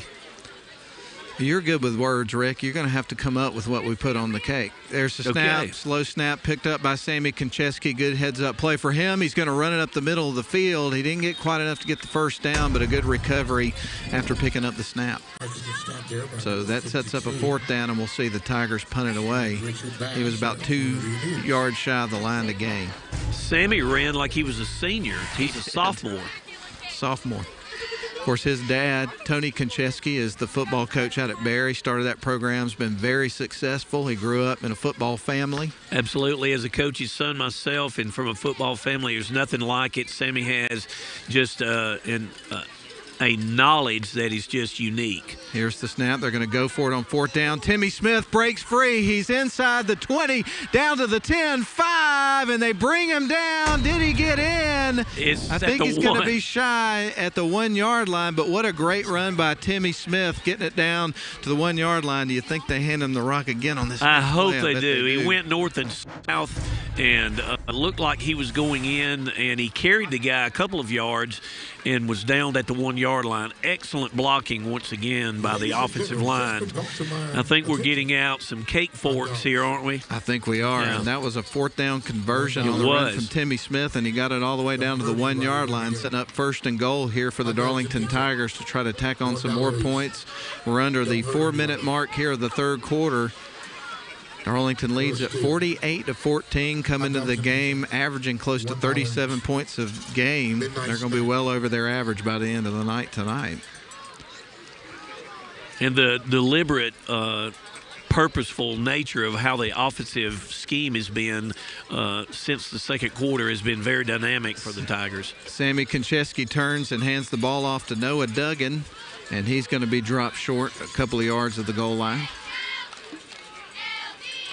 We're seeing new faces uh, on in, on offense for the Darlington Tigers, and uh, not losing much in the way of uh, ex- uh, experience or even talent level. It's just younger guys, but they're very willing, excellent condition, and will play their hearts out. and getting live snaps in a region game. Yeah. And those are the types of things when you get those opportunities to take advantage of them, they pay dividends later on in and, these guys' careers. Coach Tommy Atha and the staff is excellent about uh, uh, putting on the field a uh, a full scale product that even the reserve guys can play and play well. in a Second goal like from the three. They're going to There he is. turn, hand it off. Duggan's got it, and he drives it towards the goal line, but I He's think he stood close. up short. Yeah. Okay, he's close.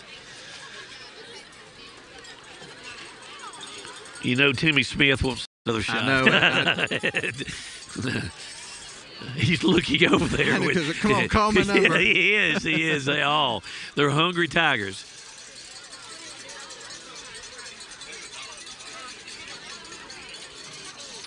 Ticking 208, 207 left in the third. 48 14 Tigers well in control. We're knocking on the door to pass the uh, 50 point mark with another score. Coming up next week for the Darlington Tigers, they'll be back at Chris Hunter Stadium hosting the Pepperell Dragons.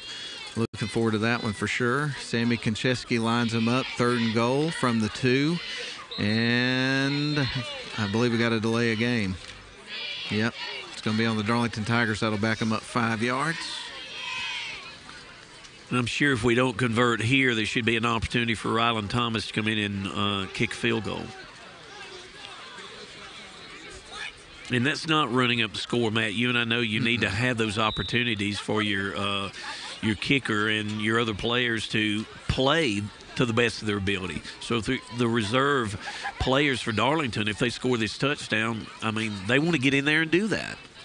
Noah Duggan's going to be in the backfield here with Sammy Kunczewski here for this third down and play now from the seven after the penalty yards from the delay of game. Yes, sophomore Noah. There's the snap. They're going to hand it off to Noah, and he's going to be dragged down to the turf at about the seven. So that'll be no gain on the play, setting up fourth down. Let's see. I don't see him trotting Ryland Scott back out on the field just yet. So it looks like they'll run a play here. Yeah, they may just down. run a play. Yep.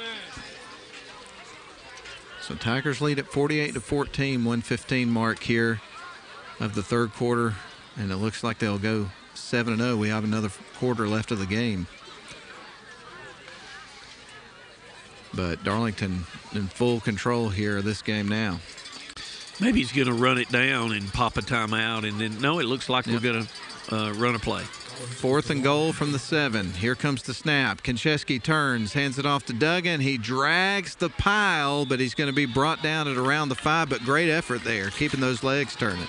Absolutely, and uh, there's uh, much wisdom and uh, uh forethought in uh, Coach Atha's choice to uh, run the ball, keep it on the ground, run the clock, and Coach Atha is never one to uh, Big Ike or run up a score on a coach, and that's what makes him, you know, in a class all his own, Matt. No doubt.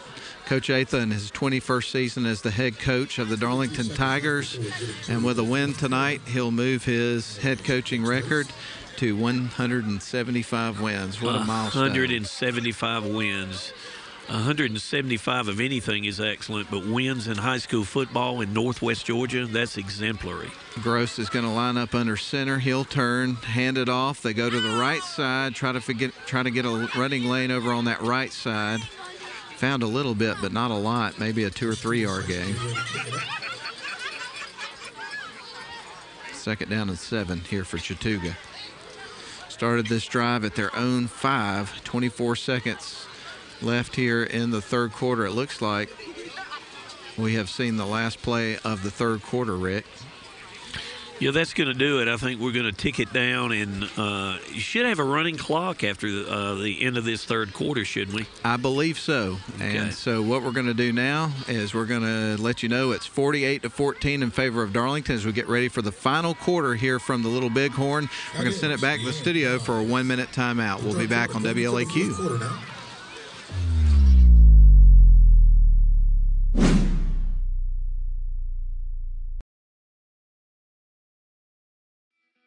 Darlington Football would like to thank the following sponsors for their support of this year's live stream Business Water Solutions, Coosa Steel,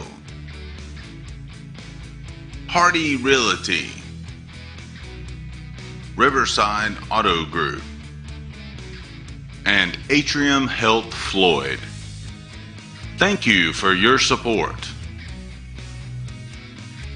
This broadcast is a production of Northwest Georgia Media.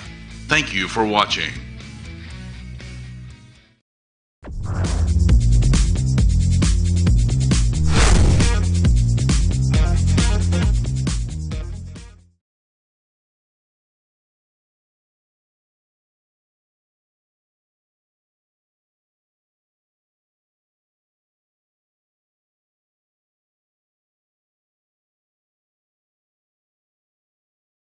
With you out here at the Little Big Horn and Buddy Wendell Field. Right now, Darlington on top 48 to 14. And as we start the fourth quarter, Chattooga gets ready to snap the ball with second down and seven from their own seven. This drive started out at their own five yard line after a turnover on downs from the Darlington Tigers on the previous drive.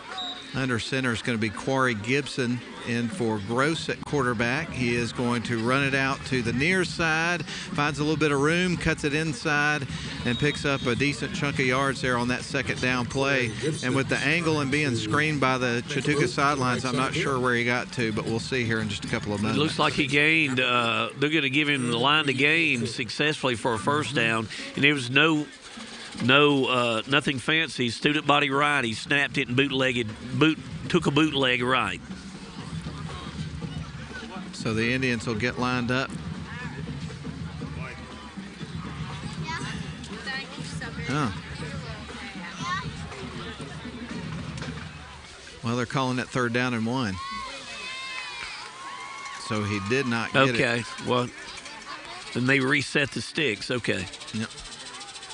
So they're going to line up under center, it looks like, here for this next play. Again, Corey Gibson in at quarterback for Brady Gross. He'll take the snap, turns, is going to hand it off. They will run it towards up the middle and get the yard they needed plus one. So they'll get the first down. And we've got new faces in on uh, defense. Cam Pettit, number 57 for the Tigers, was in on the stop, and he's in on defense. Uh, we have uh, number 13, Aiden Davis, is in on defense for the Tigers. We're going to pick out other numbers. Number 33 for the Tigers, uh, Bryson Jones, is a freshman, and he's in uh, at defensive end. Uh, see some other numbers out there. Matt, number 15 uh, for the Tigers. Jace Hatcher. Grace takes, Gross takes the snap. He's going to swing it out to the near side, and he'll be dropped after making the grab. So that brings up second down along here for the Indians after a pickup of about two yards on that pass play. And I got screened. I couldn't see who the receiver was that caught the ball. Number 67, Connor Ellison, uh, is in for the Tigers uh, on the defensive line. Now the band over here at uh, Chattooga is playing the Rocky theme. I love it. I do, I do. Never say die, you know. Never say die. If I can change and you can change, anybody can change. That's right. There's the snap. Here's a long pass Yep. here from Gross in the air, and it's going to be incomplete. No flag on the play, an incomplete pass. Uh, Gross put it up for number four, Trey Smith, to have a shot at it. A senior wide receiver. Uh, excellent coverage by number 13, Aiden Davis, for the Tigers, an 11th grader. So Chattooga will line up, ready for a third down and eight situation from their own 23 yard line with nine minutes and five seconds left to go in the football game. Darlington up 48 to 14. Honeymoon Bakery icing on the cake. Players. Sounds like of it. The game coming Feels up. I like think it. It's been decided. I think if we don't make that decision, I'm going to have some problems. There is a screen Middle pass up the middle. Here he Bringing goes. it out is Corey Gibson. He's got a head full of steam and some speed. He's at the 40, the 30. He's down to the 20, inside the 15, and he's gone. Big No play. flags. 70, 77 yards to pay dirt there for Corey Gibson. He's fast. He is. He is. He he had another gear and he was gone. Number 11, uh, Corey Gibson. Uh, he's a sophomore. Sophomore. That's right. So that's one of the many sophomores they have to look forward to becoming upperclassmen. 68. And I mentioned to you earlier, a few of these kids are on the basketball team, recognizable names, and he's one of them. He is a really good player. So the score moves to 48 to 20 as we get ready for Roque to try to tack on the extra point to make it a 48 to 21 football game with 8:36 left to go. Hole to be handled by Hunter Brown. And Juan Roque get ready for the kick, a senior. Kick on the way, and it is going to be through the uprights, and it's 48 to 21 in favor of the Darlington Tigers as Chattooga with another touchdown. It ain't over. Well, you know, we didn't expect any different up here to Little Bighorn. You come in here and they're going to play their best, and you know, to fight against adversity. Uh, Sean Peak uh, said in his interview with Ian Griffin in the V3 magazine, and that's exactly what they're doing. The adversity is the will that has been imposed upon them by the Darlington Tigers to win the game. Darlington's clearly going to win the game, but uh, the Chattooga Indians is shaping and molding their young players in this game. You are not kidding, man. What what what an interesting football game it's been, and and like we've pointed out several times, and to your point, when you look at this Chattooga team, the youth is one of the main things that sticks out. But the fact that they're one in five, I, am still just in shock. Still at amazed at that, and I don't know what happened with the defense that they've uh, attempted with us at times. That they had once again 54 points scored on them by uh, the Armuchee Indians. So Roque has got it teed up, ready to kick it back to the Tigers. It's going to be end over end, drops in at the 35, fielded by Timmy Smith, and that's where the Tigers are going to set up shop for their next drive.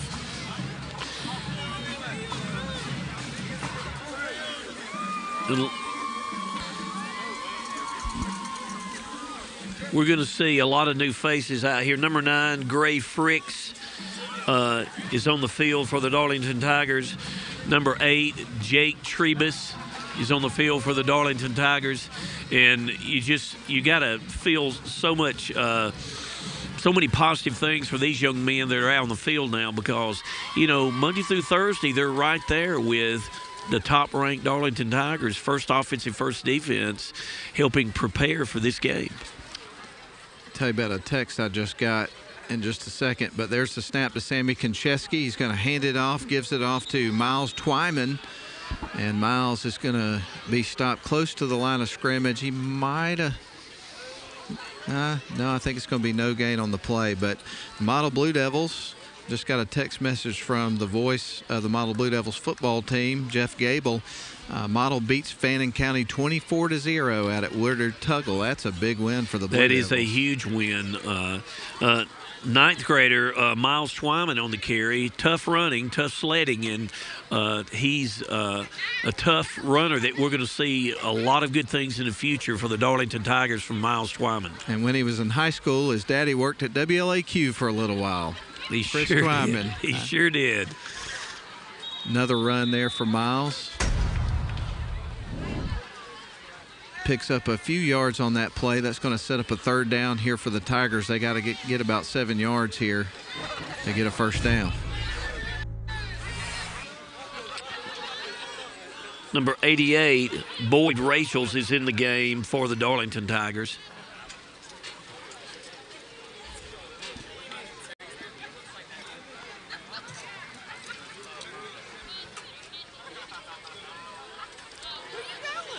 Number 14, Trenton Moore, is in the game for the Tigers. Miles Twyman's going to run off the field here for this down. Number 23 came in, Noah Duggan. Timmy Smith in the backfield with Kunczewski here for third down and seven. Dropping back is Kunczewski and trying to find somebody to throw it to. He's going to have to Wow. tuck and run. He's going to be dropped by Parker Huff. Brings up fourth down. The defense by the uh, Chattooga Indians is still trying to make sparks fly, make things happen, try to get the ball back to maybe you know get another score, do the things that they're trying to do as building blocks in this game. So Tommy Bethel on to punt the ball away here for the Darlington Tigers, Rick. to the routine. They are there when you need them most. 5:16 and the clock ticking here in the fourth quarter with Darlington leading at 48 to 21. As we get ready for the snap to Tommy Bethel, ball in his hands, kick is on the way, and it is going to be dropping right in front of Corey Gibson and takes a bounce out of bounds inside the 20. Yeah, the uh, it took Tiger bounce. Uh, boy, uh, Tommy Bethel can do it all, can he? He is, man. Excellent punt, Tiger roll, and the Indians will have it first and 10. And uh, let's say all the new faces we're getting uh, in on uh, defense for the Tigers. Brady Gross in at quarterback here for Chattooga. They played a few downs. We have Henry Ledbetter, a ninth grader, in on defense for the Tigers. Shotgun formation going to send a couple of wide to the far side, a couple to the near side here for the Indians, trailing 48 to 21 at home. Passes on the way to Gibson, get him out into space. Almost gets tripped up, shakes a tackle. He's going to be brought down after a pickup of about three or four yards. Looked like he had a little bit more, and then he started running the opposite direction before he got pulled down. Yeah, Henry Ledbetter kind of cornered him and uh, uh, got him down, just turned him and, and tackled him, roped him. Mm-hmm. Lassoed him in. he did. He did. he did.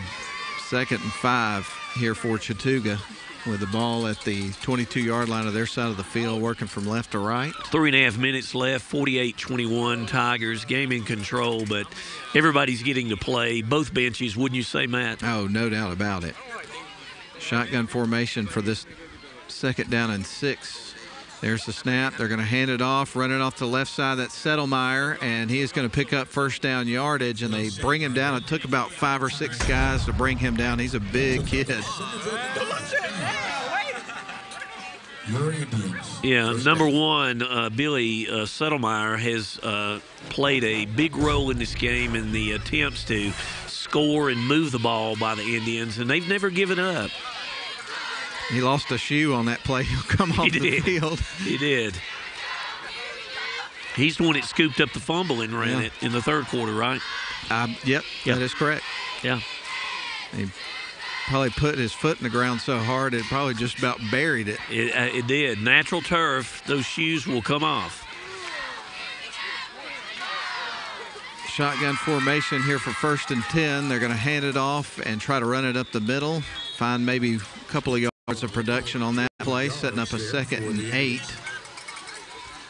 Two minutes and 15 seconds left of this football game. Darlington going to move to 7 and 0 on the season. More importantly, 3 and 0 in region play.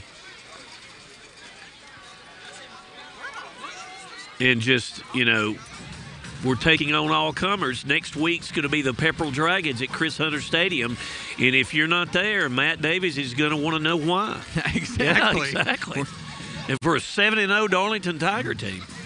Shotgun formation, second down and eight from the 39. Chattooga on their side of the field. They're going to swing it out to the far side, and he Wow. got close to the first down. We'll see where they mark him out of bounds, but I think they're moving the chains already. Big hit by a Darlington player. I'm trying to see the number. Did you pick it up? I Matt? did not, man.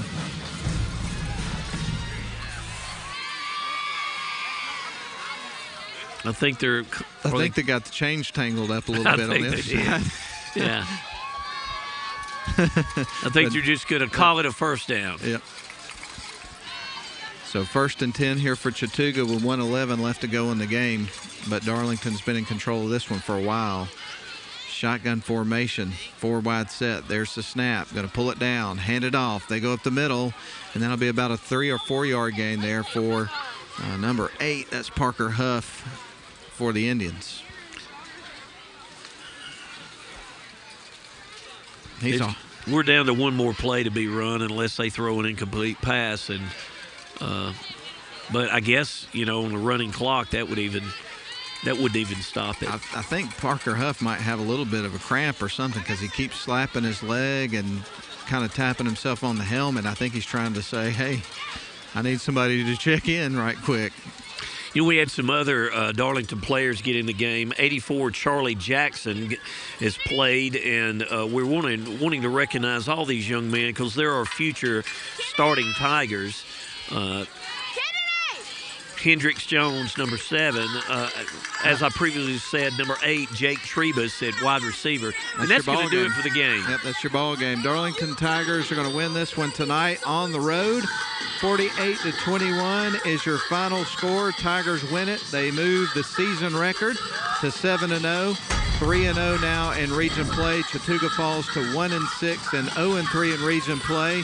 Uh, but a great night for the Darlington Tigers. Great win. And again, I do want to point out that's win number 175 and the great career of Tommy Atha, another milestone and a big night tonight at the Little Bighorn. 21 years as head coach has never had a losing season, winning record all 21 seasons, 175th victory. Uh, you know, there's what's going on at Darlington and what's been going on for over 20 years now is very special. And anyone that's played here, attended here, been a, a part of the program in any way knows that. And uh, we're putting the product on the field. It is now 7 and 0. Uh, it's 7 and 0. Great effort by everybody on the team tonight for the Darlington Tigers. Of course, the offensive and defensive line had a great game tonight. Uh, we talked about all the young men that would score here for the Tigers. You had Demarion Floyd scoring a couple of touchdowns in tonight's game. You'd have Braden Bell scoring on a touchdown pass. Uh, Lowenberg scored the first touchdown of the game. You had Bowden Owens getting into the end zone. Tommy Bethel on a touchdown catch. Uh, of course, Rylan Scott had another great game, had a couple interceptions. Jack Good, also Eli Thompson. It was just a great overall team effort tonight for the Darlington Tigers, Rick. And when you speak of the offensive line and you look at uh, the the work that uh, 51 Gatlin Hancock, 52 Bryant Powell, 66 Gus the Bus Gamage, and everyone else we can call on the line of scrimmage. I know Hayworth. Uh, what number is Hayworth? Truett Hayworth, 56. 56. You just these gentlemen just have an exemplary job protecting Jack Good, making holes open for Floyd, Thompson, and all the other running backs to really do their jobs as running backs and execute. So what are you thinking about a big sheet cake, Matt? Well, let's go for it. And if my wife Tanya is listening, she helps us facilitate that as she is the operations manager over at Honeymoon Bakery. Don't worry, honey, I'm throwing in on this cake. I'll That's right, I will too. For you, WLAQ is pitching in because the big boys they need to eat. The heavy eaters. The out of it. Hey, I'm sure after this game, the big eaters are going to be thin in the skin. They need to eat. That's, that is exactly right. So tonight, again, Rick, it was a great great night for the Darlington Tigers. Absolutely. A 48 to 21 win over the Chattooga Indians and a 7 and 0 start to the season, 3 and 0 in the region. And I just want to take this opportunity, man. Um, you know, your number's gotten called a few times over the last couple of years, and you always do a fantastic job of helping out with these games. And I always appreciate getting your insight and also getting to hang out with you and talk football for a few well, hours. Matt, uh, I, am just so those gracious remarks. I'm just so honored by them, and no one can substitute for Ian Griffin. I come in here and I meet with you and I fellowship with you.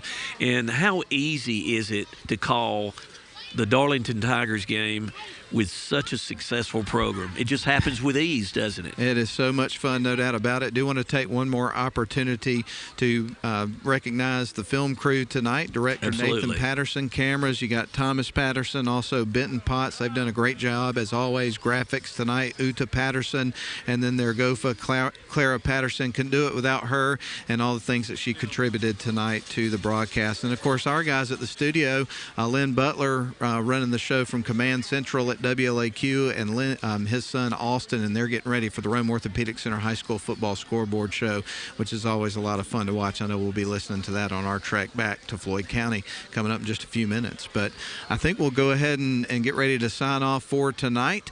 Uh, we appreciate y'all listening and watching the live stream. It's, again, just a great pleasure to get to call these games. We look at it as a privilege each and every week and hope you enjoy the broadcast. And uh, just want to take the opportunity to, th- to uh, congratulate the Darlington Tigers, also Tommy Atha on his 175th career win. 175, Coach and congratulations. And Matt, it's been a pleasure to be with you always. Thank you for allowing me to be here. Been a lot of fun. Happy story tonight again for the Darlington Tigers picking up that 48 to 21 win. They'll carry that back to Floyd County and Cave Springs. Road in Darlington School, and that's going to put a wrap on our end as we get you ready now for the Rome Orthopedic Center High School Football Scoreboard Show. If you're listening on the radio, for Rick uh, Lundy here, I'm Matt Davis saying so long, everybody. Hope you have a safe evening. Have a great weekend. Enjoy that fall weather. We'll talk to you next week as the Darlington Tigers get ready to host the Pepperell Dragons over at Chris Hunter Stadium. 7 o'clock pregame, 7.30, toe meets leather. Have a great weekend, everybody. Good night. Darlington Football would like to thank the following sponsors for their support of this year's live stream Business Water Solutions, Coosa Steel, Hardy Realty, Riverside Auto Group, and Atrium Health Floyd. Thank you for your support. This broadcast is a production of Northwest Georgia Media. Thank you for watching.